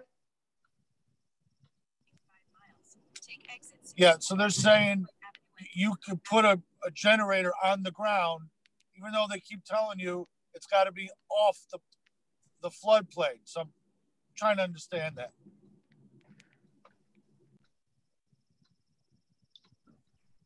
So he's asking how, how could it be on the lot? When if you're in the floodplain, wouldn't that generator be threatened by the storm surge? I mean, I think it, it depends on how how exactly the generator or batteries or or um, whatever power system is there is is built. So presumably it would be flood protected in some way. Okay. Flood protected somehow. Okay. Okay. Um, Paul, you got any more questions? No, I think that No. So I think I think we're um, Brad. I still see your little. Oh, I, I can take his hand down. Okay. Just be sure everybody's got got their uh, two cents in. A lot, a lot, a lot of good comments and questions. Um, so what we can do is try to get a vote saying approve or not approve or with conditions one way or the other. And this is what we want. It does occur to me that the uh, comment period goes to December 28th. It's possible we could talk about this again in December and then finalize that, or is that too painful? I mean, I think that I'd like to, I'd like to try to tackle the Marty's question at the outset of like, what exactly um, are we trying to do here? And Jesse's thoughts were that we would, like a similar passage, when these citywide issues come up, is propose a denial of the of the zoning text amendment unless these conditions are included, and then we have a list of issues that we as community board four want to make sure are included. I, for one, would like to hear more and see more that's specific to Chelsea, specific specifically to the historic portions of Chelsea. Totally So- agree. So we could have that as an issue that we want to see. I, I was also thinking maybe there could be a couple of examples mm-hmm. of the types of buildings that are typical in Chelsea and what would be one or two or three options for them and what would it look like? Because um, I'm a visual person. Um, anyway, we could we could write up something like that as well. So we would need. So a big issue is is wanting a, de a, a detailed map or better map of Community District 4 and the floodplain boundaries, right? Right, right, the floodplain and and you'll kind of like the idea that maybe there could be a couple of examples of how the proposed text would impact. Um, and I would have the answer to that. The question that came up about have you been communicating with LPC? What what has what have those conversations been like in terms of how they're helping point this in the right direction to protect historic districts? Well, for historic districts. Well, can I add one more thing to that? Sure, Vera. Yeah. I was waiting for you to say something. You've been awful quiet. no, there's a lot, but anyway, I think uh, what what Nabeela is presenting is more sort of generic and sort of citywide, uh, and um, it's typically what you encounter when there's a change in zoning text. Uh, my my question, Tom, is just an addition for the LPC. Has will LPC or any other city agency um, sort of tailor their guidelines or their regulations in light of what is being proposed in the zoning text. Something that we, I'm, I'm, I'm not framing it very well, but what I'm saying is that these conversations must have been translated into some sort of changes at the LPC. Would they be issuing some different set of guidelines for? Well, that's certainly an issue we can raise. Yeah. Is there any other agency that you would be thinking of? Yeah, LPC is one, and NYCHA is another one, obviously. Um, I mean, multiple agencies, right? DEP definitely, because there is a CSO issue that sort of ties back into um, flooding mitigation. So there are multiple how about, agencies. How about HPD? Um, yeah, HPD is a, is a, large, large own, uh, they have large ownership of housing, definitely.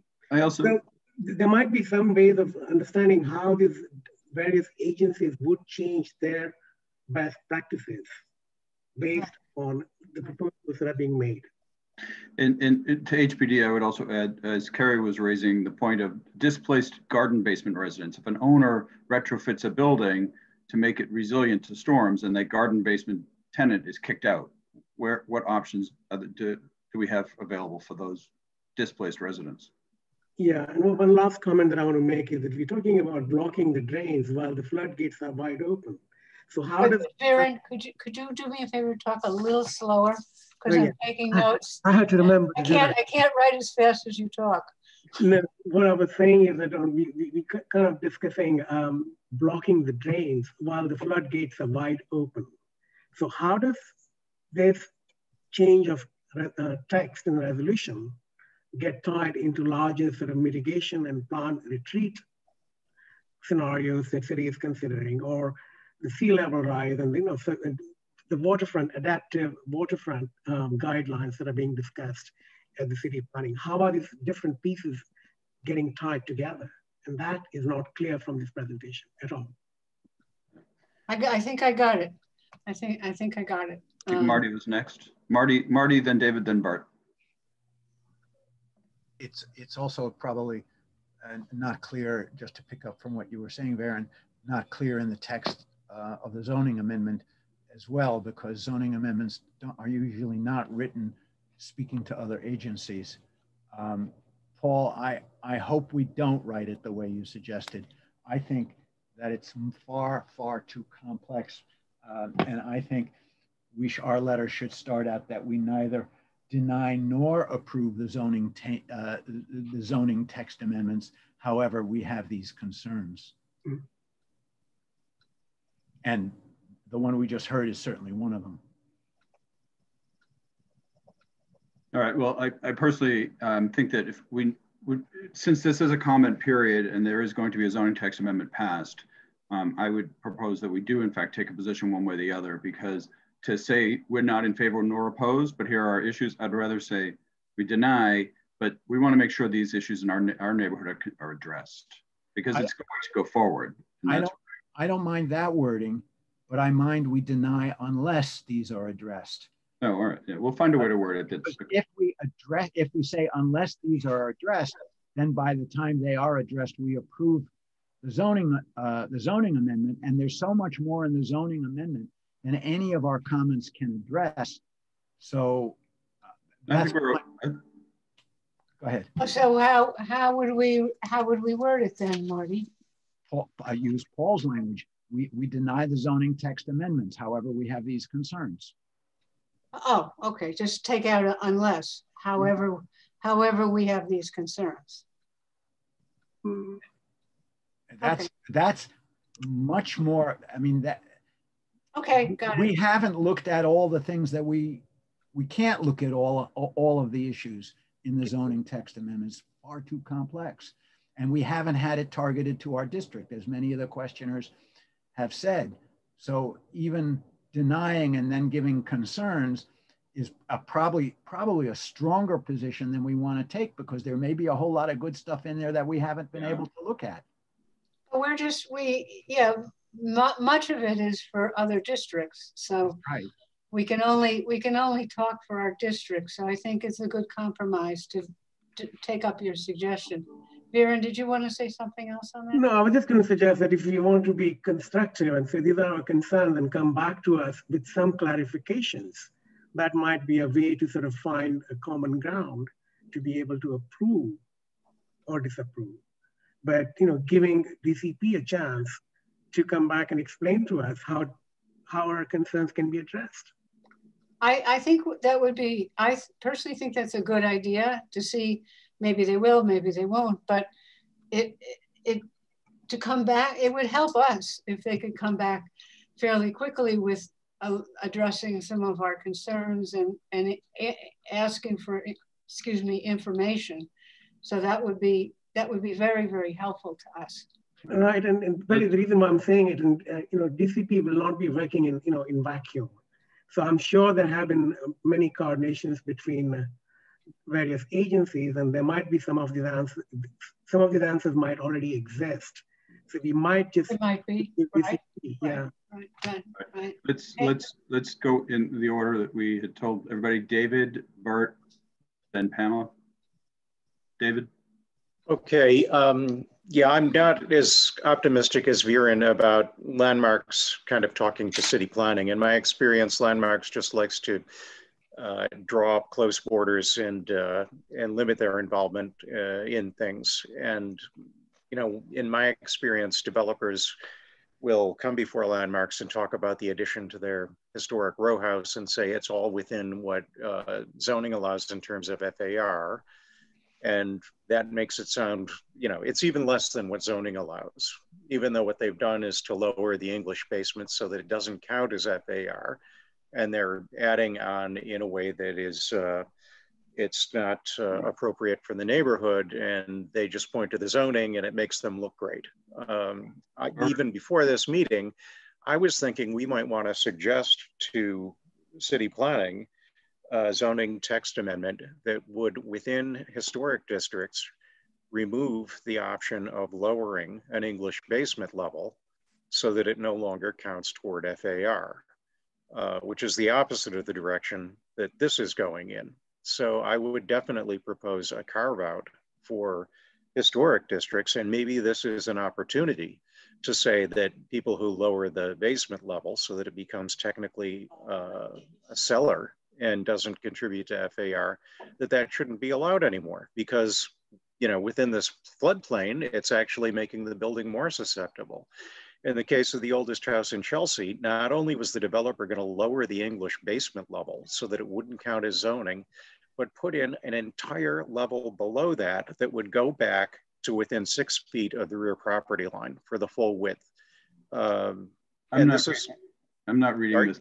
I'm not reading this zoning text amendment as allowing that sort of activity, David. So let's let's get some clarification on that.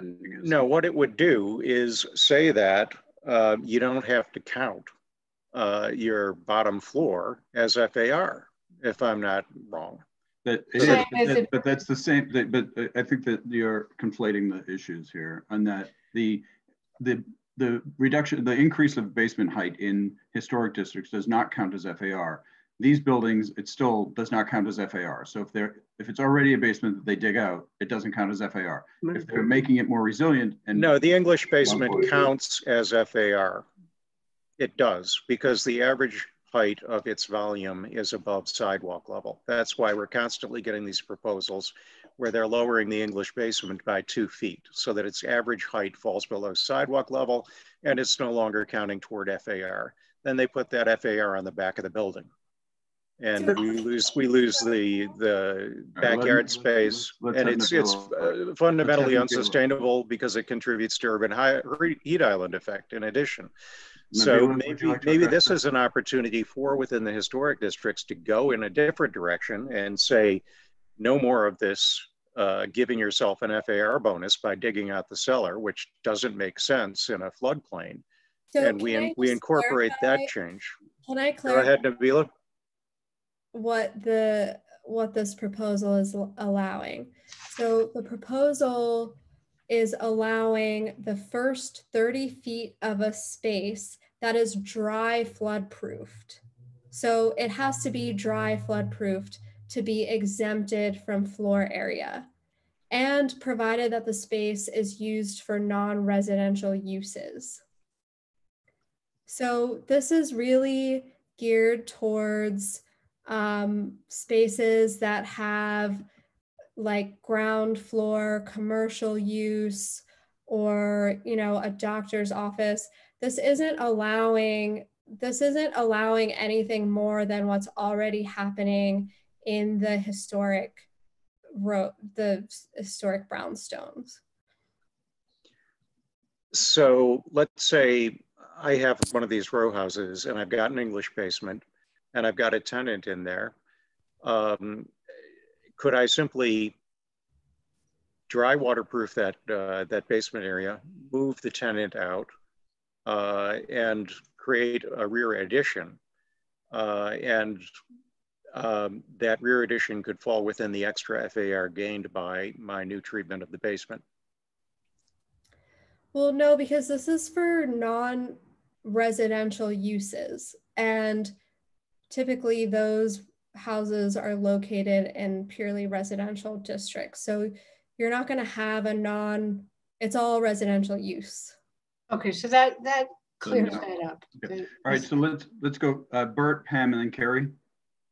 Bert, Yeah, um, all, you know, all the incentives here to implement the proposed zoning changes, changes by the, the the sustainability, the flood prevention changes are physical.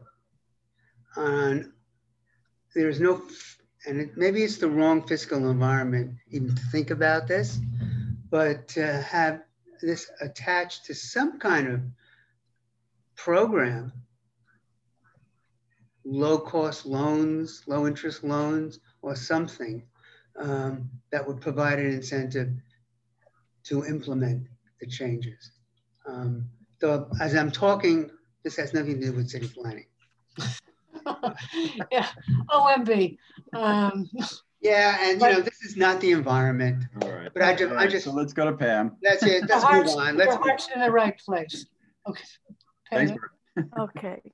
Um, what David said, basically, uh, in part, but I'd be interested to know uh, what other uh, community boards that have large historic districts, if they've already had this conversation and what conclusions they've drawn, particularly CB2 and 1 would be interesting for us to know, I would think, um, what's, what their thinking is. And they probably would like to know what our thinking is about this. Um, I like to think that there could be some sort of carve out for, uh, as has been discussed, for historics, uh, not just ours, uh, on this subject. Um, I think the, the, the discussion about the, the berm um, uh, the U, the great giant U, um, is, is a worthwhile conversation to have because if that's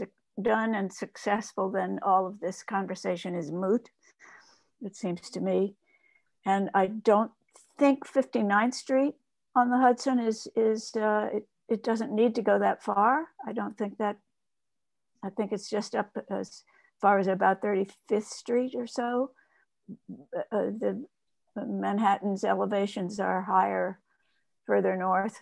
Um, we're the most vulnerable and the village, obviously, and, and, and CB1.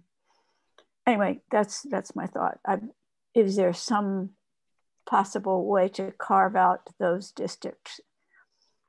Um, I can see that if this happens and these zoning changes take place, this is basically the end of historic districts as we know them the faces, the, the developers will indeed take advantage of every possible loophole that there will be. Um, and we need to be very cautious about that. That's all I've got. But Can I you know, clarify I... the historic district situation? So the historic districts, the only way a building could take advantage of these options is if they are significantly renovating their building within the historic district because that would then trigger the building code appendix G requirements exactly. To meet flood resiliency standards. If you're already at that level of substantially altering your building to trigger those building code requirements, then you can take advantage of these options here. You can't just be like, oh, I've I want an extra, I want a penthouse in my historic district building, I can use these rules. No, this is, you are substantially altering your historic district building, meaning you're already going to LPC, you're already filing building permits where DOB will tell you you have to meet flood resiliency requirements noted in Appendix G. Once you look at Appendix G and you see, oh, I need to meet all of these requirements and I need a little bit of flexibility to be able to do that, then I go to this these new provisions that give me the flexibility to meet those rules. You cannot use anything that I presented today as of right in a historic district without substantially altering your building, which means you're already going through some kind of review process at LPC at DOB. All right, I'd like to um. If, if I may just carry, just jump in because I, I would like to follow directly on that thought. We do have another agenda item. So oh, okay, I'll, I'll try to be brief. But Thanks. you know, Nabeela, what happens in Chelsea is that people buy these houses and they demolish everything but the front facade. They do go to landmarks they do go to DOB and they, they put in completely new buildings behind the historic facade uh, according to existing zoning. And you know they, they work with the, the basement levels to get the maximum zoning they can. But it sounds like what you said earlier was that uh, the flexibility that they get from the zoning resolution would apply only in cases where they're no longer uh, talking about residential space. So they would not be able to increase their FAR, for example, if the building was still entirely residential. Is that correct? Yes, that's true. Well, that's a good clarification. But there are there are other flexibility options that I presented that they could potentially use, but only if they they have triggered Appendix G requirements of the building code. So there's right, like the there's a lot of pieces here. The piece that you initially were talking about, about the English basements, the, the 30 foot rule of dry, flood proofed um, uses within the first 30 feet of a space that can be exempted from floor area does not apply to residential uses. So that could not be that could not be utilized even if the building was being substantially altered and triggered Appendix G. Okay. Okay. and the only other consideration is that the height, the height limit might change. It might, that would be elevated uh, because it's Yes, based if on the the, building decided to, if they needed to elevate because of the floodplain, then yes, they would have flexibility in their height to address that. okay, thank you. All right, let's do Carrie, and then let's see if we can get Betty can do a summary um, and see if we can't wrap this up some. So we Sorry, I'm not sure if this will be very eloquent, but I'm just wondering if there's some language we can ask for that protects buildings or residential buildings, probably mostly that where people, it's just not an option. It's just simply not an option to to create what you guys are suggesting. And I think that goes back to the opt-in, opt-out, like not really sure, you know, whether you have to or don't have to, but that no no penalty will be applied if you can't. That makes I, sense. I, I, I think that Nabeela, uh, correct me if I'm wrong, have just clarified that the issue on the lower level is talking about non-residential buildings. Correct, Nabeela? So, so it's, it's not your case. So only non-residential buildings. Uh, uh, am I right? So, so the the concern that David brought up about the English basements being able to um, not count towards floor area, that that is not true. That does not happen through these provisions. But these provisions apply citywide to residential and non-residential and mixed-use buildings within the 1% and 0.2% floodplain. So then uh, I would renew the request that if it's impossible to comply somehow without displacing people, that um, there's no penalty for that building. Is there some kind of grandfathering? I, I'm not sure I, I understand that question. Well, for example, somebody brought up flood insurance, which, you know, I think is probably the responsibility of the homeowner, but that is an increased risk in living in an apartment that is sub, you know, a garden apartment, which is how we always refer to it. But let's just say that there's a flood. I want to make sure that residents who do live in garden apartments in Chelsea, which are all throughout Chelsea, are not going to be penalized if they need assistance from the city, for example. I mean, the zoning can't control flood insurance rates. Right. I mean, the second piece. No, but uh, let me see if I can, Carrie, let me see if I can help phrase this in a way that, so if a building owner has a garden basement apartment um, and they get slapped with new flood insurance rates, and unless they meet some sort of flood resiliency requirements to reduce their insurance, they come in and say, all right, we're going to make this, this basement um, flood resistant. We're going to use these resili- resiliency rules. It's going to create a vacant space um, and the garden basement apartment tenant is now pushed out. And is there I any mean- protection there? I mean, we're talking about the safety of New Yorkers.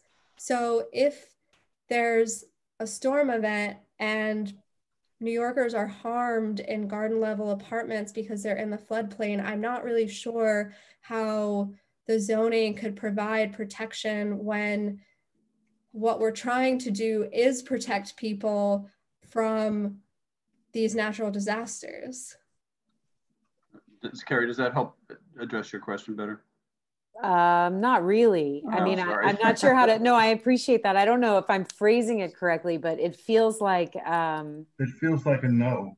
well, It and it isn't. Feels like there are, you know, these construction issues that just don't necessarily apply to many of the buildings that are in our our district. So I, I, I don't. I'm not. I'm not quite sure. I know how to under how to So I- process this. Maybe I maybe I understand a little better now. So whatever doesn't apply to CB4 just doesn't apply. The, the, these are these are options that are triggered when you have to meet Appendix G building code requirements. So if you're in CB4 and you are building a new development or you're significantly altering an existing building and DOB says, okay, you have to meet Appendix G requirements.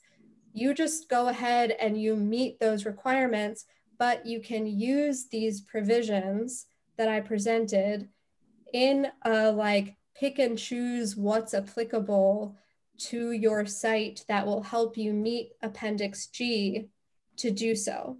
So there's no penalty if you're not using something that doesn't apply in your district. You just can't. It's physically impossible, doesn't make sense, isn't cost effective. So you're you're this is kind of like a menu of options that's triggered when you're required to meet Appendix G building code requirements. So I guess that from I'm slow on this myself. So so if if the owner significantly plans to alter the building, significant alteration, they have to use G, G they might be able to use some options that are in the proposed text amendment, right? Yes, because sometimes what happens is, for example, um, you know, Appendix G says you need to elevate your building because you're in the 1% flood risk right, zone right, right. and we need your building to be safe and resilient. And then you look at, you know, your zoning regulations and you know zoning you know there's a height cap or what have you. There's a limit and you can't elevate your building without compromising some floor area that you need to sort of recoup your investment in a resilient building.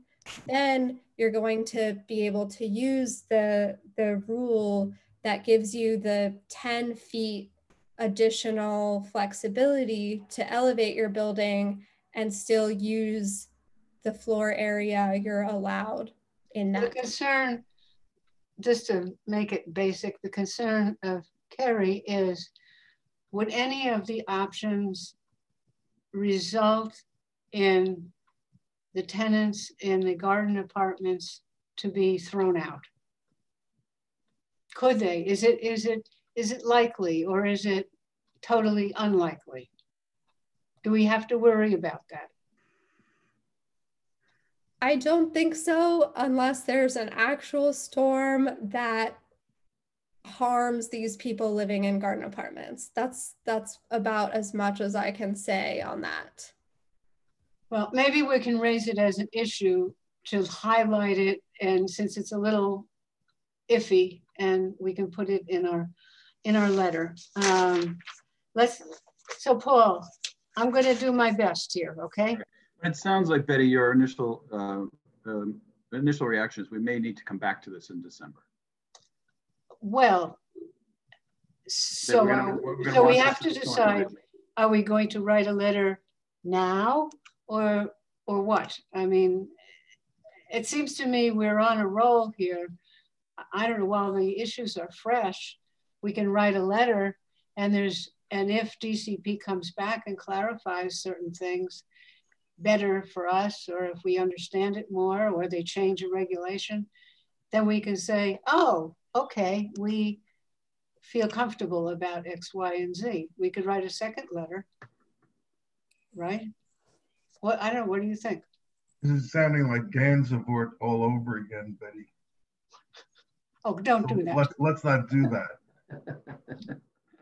So what, do you- so, so, shall we do this then? Do this letter? No. I would, I would like to have them back, back another time with much more specific. But we have, but if we don't write some kind of a letter, maybe it's not a vote letter, but we have to write some kind of letter saying we want to know about X, Y, Z. Right. So, so the question is, do we want to make a request to DCP for further information that is specific to Community District 4? And we can list the few things that we've discussed right. Right. and then address those at our December meeting and then write the letter for community board approval at the December meeting. We uh, could do that, but I think we have to write something down.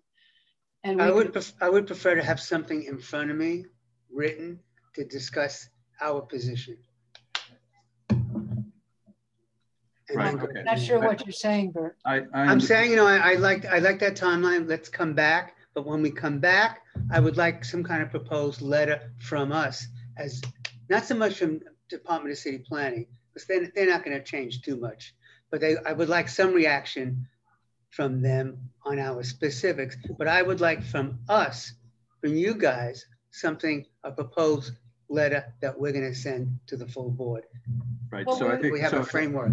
So Bert, you're, you're saying the steps are to request from DCP information on the concerns about the historic district, the heights issues, the streetscape issues, the displacement issues. Yes. Get that information from them, then Betty and I draft a letter incorporating that information to present at the next meeting to this committee to vote on it at that point. And I would suggest we circulate it ahead of time as well. and Yes. people Can have input on it. Right, I would ask that we also ask for information about how this might impact the special West Chelsea zoning district, which was so carefully uh, sculpted. You know, the impact on the skyline, the relationship between that district and the adjacent historic district, because all of that stuff is within this area of concern. And it would be great if we maybe could see diagrams showing what the impact would be there as opposed to in a generic New York location or, or Brooklyn or Queens beachfront location. So, so let's just, let's just clarify. So, so we write a letter to city planning um, saying, highlighting these issues and impact questions. And, but it's not a denial or approval or an unless or whatever. Just a request This for is- more information. This is a request for more information and that, that to help us make a more uh, informed decision at our December meeting. Right? Mm-hmm. And a better map. Oh, I got that on the list. Yeah, we have, Very, what, what that would mean is that mid-December, they come back and they tell us what we want to hear. Oh, Hopefully before that, even Before that, okay, so it's not gonna wait until the next committee meeting. It might happen before then. Correct. The- Well, I think it so- should be in ear- early, early December, so we could digest, I- poor Nab- Nabeela, you're gonna have to go back to your boss and say, they, they want all this stuff. Um, That early December, so then we can digest it and then we can not have such a long meeting. Right. What I'm, what I was trying to say is that ta- taking the letter back, approval letter back to uh, the full board meeting might not happen in December. Am I right? No, it would, one way or the other, we would have a position and we take it to the full board. Oh. Or we can take it Oh, no. to exec. Oh, It you're can go right. to, ex- it can go to exec We can at go the to end of December. Yeah. Uh, Marty, you had another question? No, I'm trying to, uh, thank you. I'm trying to, I'm trying to process this. I, my original thought, and then the calendar got in my way, was that Betty has uh, the idea of a letter, and I would like to see that letter sent as soon as possible. That does, that means that it can't be uh, approved by the full board uh, because that would take too long to send out. Uh, I wonder if we could send out uh, an, a- an administrative letter soon is that the plan? Send out an administrative letter asking, listing all the points that we've made. It's just like you're writing a letter, but you make it an administrative letter and then get the answers to that. Uh, the sooner the better. If those answers could be brought to the full board in December, that would be lovely, but it doesn't feel like that would be possible. Time is wrong, too short. I was going Uh, to suggest the very same thing, Marty. It's an administrative letter questionnaire. And, and I don't know the process as well as you guys. You've been around longer than me. And Bert, you could certainly address this. The administrative letter, imme- immediately do an administrative letter requesting more information. That information is given to us. Betty and I will work on a draft letter um, that we would then circulate to the committee in advance of the December meeting. At the December meeting, we would discuss the letter, which would have incorporated the information we received from DCP. That hinges on your getting the information back soon enough for that process to work. Indeed. Oh, But, Bert, but then, We're, we're talking about our December meeting, the committee's December meeting, not the full board. I Oh, want to oh, make that oh, okay. clear. but then we wouldn't make the deadline of. We'll make the deadline because it can go to exec and It would exec have to could go pass to it. exec. It would have to go to exec. Okay, I think we got it. Has everybody got it? We have, we, Uh, Let me Paul and I do this administrative letter, all- all these issues we've, that have been raised. I think the two of us took notes. Then hopefully city planning comes back. And then at our Chelsea Land Use Committee meeting, we, uh, based on the new information, we, we write a letter that says denial unless or whatever, or concerns, continued, continued concerns. And then that goes to exec. so that it can get to city planning by the 28th. And it would go to the full board in January. In January. The only, Ratification. For ratification. the only, the only wrinkle that, that I, I would like to hear some consideration about is I, I don't, I, I'm, I, I don't mean to insult the speaker today. Um, the ci- city planning isn't going to get back to us quickly enough in a month in order for us to consider this, man, this. Well, Marty, that's their problem. If they don't get back to us, then we know what we're gonna do. It's their And- problem. if they don't get back to us, you're saying, I'm just, I'm just putting it on the table. If they don't come back to us by our December meeting, then in our December meeting, we're basically writing the same letter that says we can't approve this. Because we don't have any- enough information. They didn't respond. And we'll be very clear about it. We want to cooperate and we assume city planning And- wants and to Nabeela- cooperate with Nabeela us. spent an hour- two hours getting drilled by us, and I'm sure, and she's got 50 of these boards she's got to do. So I I'm hope sure- she- you're not, not the one No, going like, to I all the only have to boards. do- This is just, I'm all yours. I'm all CB4s. So That's I great. have taken notes as well. And, you know, I will get as much information as I possibly can um, to you before before the next meeting. Thank You great. I, I have full confidence in you, Nabeela. You will do Nabeela's been everything Thank you. can. Thank All you. right. Well, what very, about- Good, very now can we move on? Uh, Chris- What about I think- I think Hell's Chris went and had Kitchen dinner and came back already. Hmm? All right. What so- about Clinton's Hell's Kitchen Board? I mean, are they weighing in? I honestly don't know. I don't know. I have to check with Jesse on that. I think. They have no flooding up there.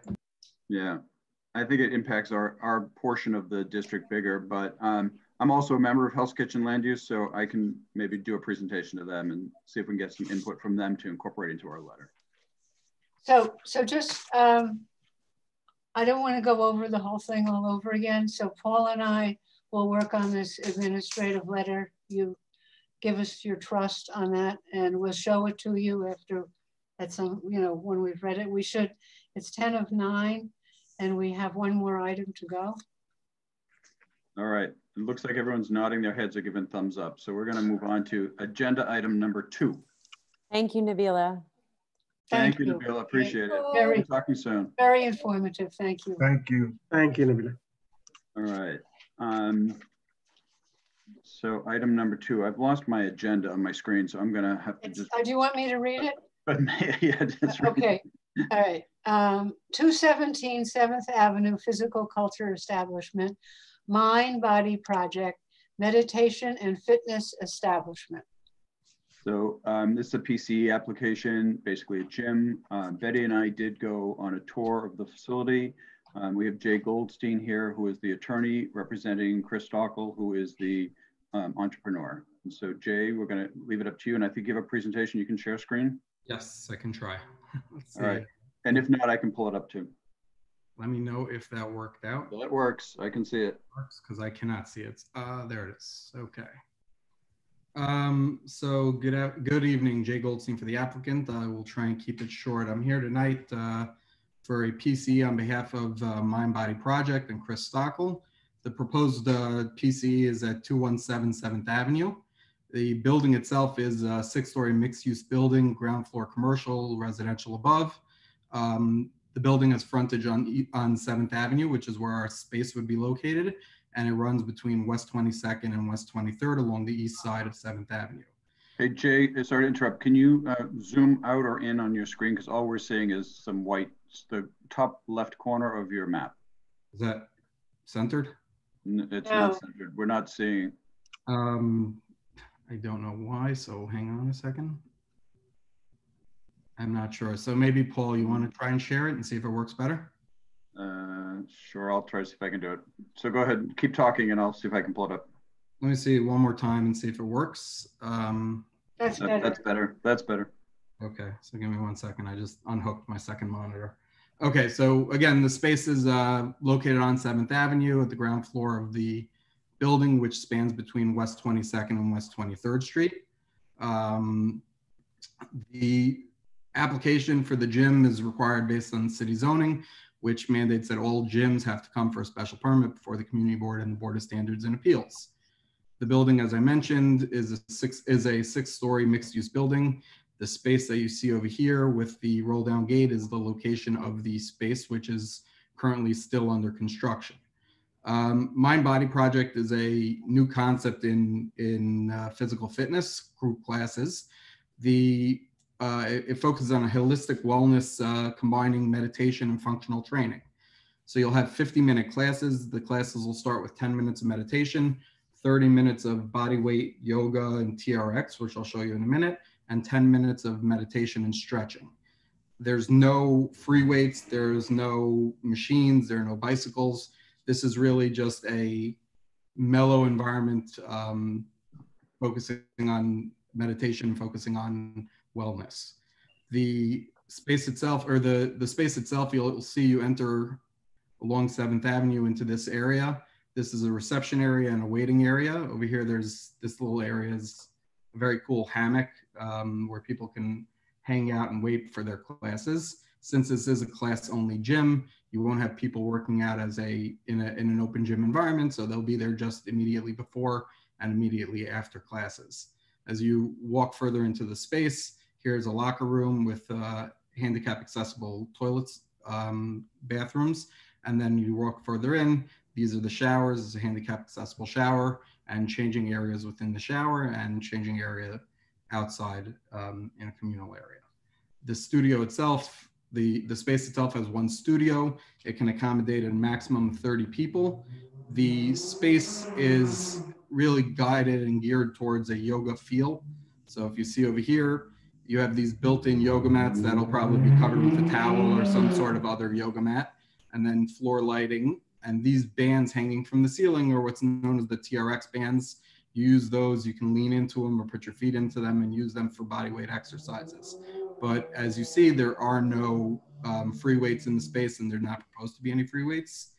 The space itself or the studio itself is built box within a box. So we took into account the fact that this is a residential building and that there are residents above us. Below us is the parking garage, but above us are our residences. So we did do an extensive build out to soundproof the walls and the ceiling and the floor so that it's separated from the elements of the building to reduce the noise that comes from the space so as not to impact the neighbors above. The proposed hours of operation are 5 a.m. to 10 p.m. Monday through Friday, Saturday and Sunday 7 a.m. to 4.30 p.m.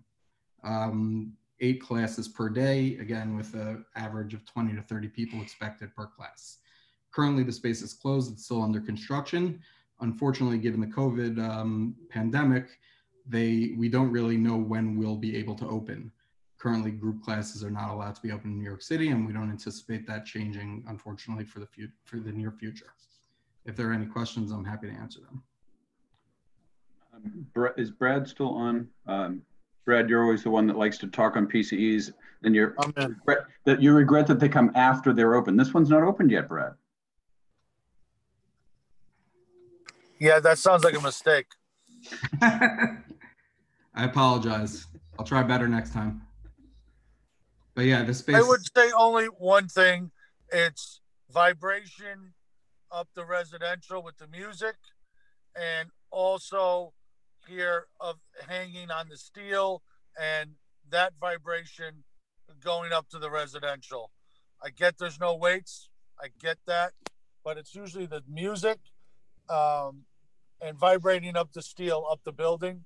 So that's why we built this as a box within within a box, as I mentioned. It's not actually those those ropes that are attached to the ceiling are not attached to the steel of the building. They're attached to this frame that's within the space, and it's built to absorb the shock of any of any movement within the space. Same for the noise. This is the same system that's built for spin studios and the like our music is going to be substantially less impactful given the fact that it is geared towards meditation and a, and a holistic vibe as opposed to that club atmosphere you see a lot in, in spin studios and the other gyms that this this board has seen. Viren? Uh, well, just one more oh, sorry, thing. Brad, sorry, go ahead. Paul. No, go ahead. Uh, which we always regrettably ask later. Have you reached out to the tenants in the building and have they had a discussion and has this been approved? Uh, how was that communication uh, been? So we did this. Uh, unfortunately, um, we had our, our walkthrough on Friday, and this question was asked us. So I tried to get a letter from the from the building, It was presented to the building. The landlord that we have is on the board and presented it to the board. My client's here, he can talk to it. We were gonna get a letter, but it just didn't come in time, but it was well received by the, by the building. When you say letter, I'm asking, was this presented to the tenants above? And they signed off on it? It was Because presented, When they come back to us later, we want to remind them that they did have a say, right? And I, Correct. and I'm glad to hear that reach out happened because you've been in front of us many times now. yes, sir. Um, I, I just want to confirm that, Paul, uh, for the record. Yeah, no, I, it- what Jay just mentioned, Betty and I both specifically asked about a presentation of the condo association. And if they could, in fact, the letter, the letter he's referring to is a letter we, we requested from the condo association saying, making a statement about this facility. So Chris, were you going to add to that about the letter? Yeah, absolutely. So um, we did, you know, happily receive your request for that letter um, from the condo board. We put it in on Friday, that request to my landlord. They've got a lot of moving parts right now. I fully anticipate we'll, we'll get that letter back from them th- soon this week with confirmation that it's been presented to the building tenants and that everyone is very much aware, on board, and approves of our being there. Does that answer you, Brad? And then Viren, you, you still want to come? Yeah, just one quick question. Um, i- i- is this a wood frame building? Um, I'm not entirely sure, but I don't, I mean, it seems to be, it seems to be a newer construction. It's a large six-story building that spans 25,000 square feet. So I don't believe it's a wood frame building, but I'm not positive on that answer. I Because think I I can see- speak to that, if Hmm. anybody. Turn myself on here. Hi. Um, That's a building that uh, was a series of buildings. There was a major fire there in the 1960s. There was a paint store and a linoleum store. And um, the buildings were renovated into this facade that you see, but I believe the original structures were retained underneath the facade. I can't promise that, but that's my, my recollection is that it's a sheathing of the, of the original structures. Yeah, right. If, if you go back to the interior view, we can see the wood joists below the floor. Uh, that's um, those joists are artificial. We this is Oh. it's just uh, artistic design. We those Okay, aren't so part of the up by you. ceiling. Actually well below the ceiling. Um, I- I, would imagine that at the ground floor above the basement, it would not necessarily be wood, but the rest of the structure might well be uh, wooden joists and, It's possible. And studs. Um, not to say that there's anything wrong with that, but um, that's my recollection, and I've been here for 64 years, so I have a pretty good memory about structures. Um, I'm I'm so happy to hear that there's none of those w- weights that hit the floor that shake the whole block. I have one question. I see on the plan that you wrap around onto 20, you have access onto 22nd Street, onto the residential street. Am I mm-hmm. right about that? No, the building. So you can see over here that the building wraps around to West 22nd and West 23rd. Our space is internal space. It's not. It does not have access. You don't have access to, twen- to 22nd Uh, no, it Street? Doesn't have access Okay, beyond our street frontage. okay, got it. Thanks. Any other questions? Um, let me see if there are any attendees left at the meeting. There are none still in the room. I have Uh, a question. This is Tui. Oh, go ahead, Tui. Um, I'm. I guess I'm a little confused as to the footprint because uh, it's where the old jean store used to be, but then the whole the arrow shows the site is like expanding to like where the subway is, and You're talking about this picture? yeah. This is, these are photographs that we give to the Board of Standards and Appeals. So the space is, the frontage of the space is what, what I'm circling here, which was OMG, which you'll tell me that means, I, I, I believe you. Um, when we put this yellow dotted line in the arrows, that's to show the zoning lot. So we're giving the broader picture of where this space is within the context of the building. Okay, and then um, I guess my next question has to do with uh, COVID nineteen and um, air circulation. Um, that studio, that's not a basement studio, right? That's the same level. Uh, Ground floor. Yeah. Ground floor. So, um, but it's there's no windows. It seemed from the rendering. Um, what's the circulation, air circulation to be? Is it going? How is it going to be? Yeah, I, I can speak to that. Um, so we actually installed a brand new um, HVAC system throughout the entire space, and it takes into account the re- new regulations that New York State and New York City have placed on fitness facilities, um, which requires MERV 13 filters. And we've gone above and beyond and, and installed something called bipolar ionization. It's an additional um, air filtration and cl- cleaning system just because we want to of course we know we're entering this marketplace in the middle of a pandemic and we want to be able to to tout all the measures that we're we're taking to keep the air clean and safe Okay, thank you.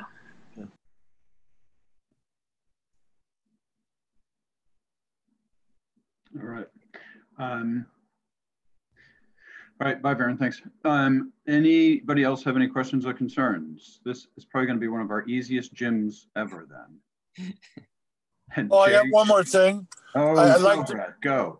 I'd like to make sure that they know that we have a CB4 website for jobs. And if they have any jobs uh, that they could post on our website, that would be great and helpful. We'd like to promote hire locally. Thank you. That's great to know thank you for that mm-hmm. Thanks for that reminder, Brad. Pam? So I want to know if you're going to be offering any classes for extremely elderly ladies with not very good knees. we have just the class for you I can't So, wait. our, our, our, we plan to have a very broad audience and all of our movements are fortunately like we discussed body weight focused um, and we will have a, a, sliding scale of uh, modifications that can be made to any anything that we're offering we would love to have a wide range of folks Splendid. Yeah, Thank you. sure just a quick question. Uh, on top of what uh, the comment about seniors, what about veterans? Are you going to be offering something like that?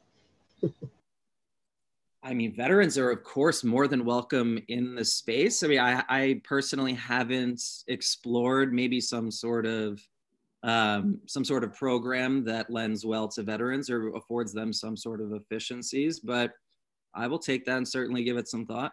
I like that. Yeah. All right. Um, so I'd like to, uh, Betty, did you have anything you wanted to Nope, raise? I'm ready for us to vote. Um, so I'd like to entertain a motion to approve this application for a PCE at the address on the, on the agenda, 217 Seventh Avenue. 17 Seventh Avenue. Anybody So want to make that? Brett, Bert makes the motion. Do I have a second? Second. Kit makes the second, or Zora? I heard them all. All right, all those in favor? I, Any opposed? Abstentions? Present not eligible. Bent, uh, Mike, did you have something?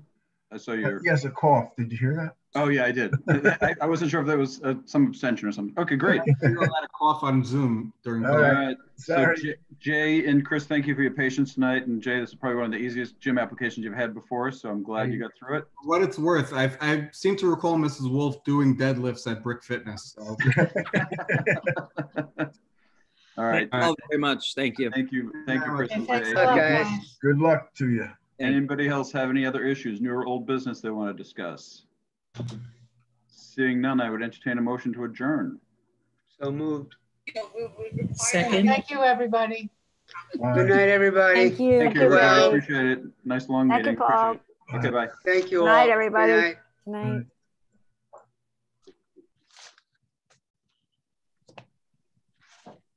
Pam, are you still in Truro? Hmm? Uh, you're muted, Pam. Muted, muted. Yep.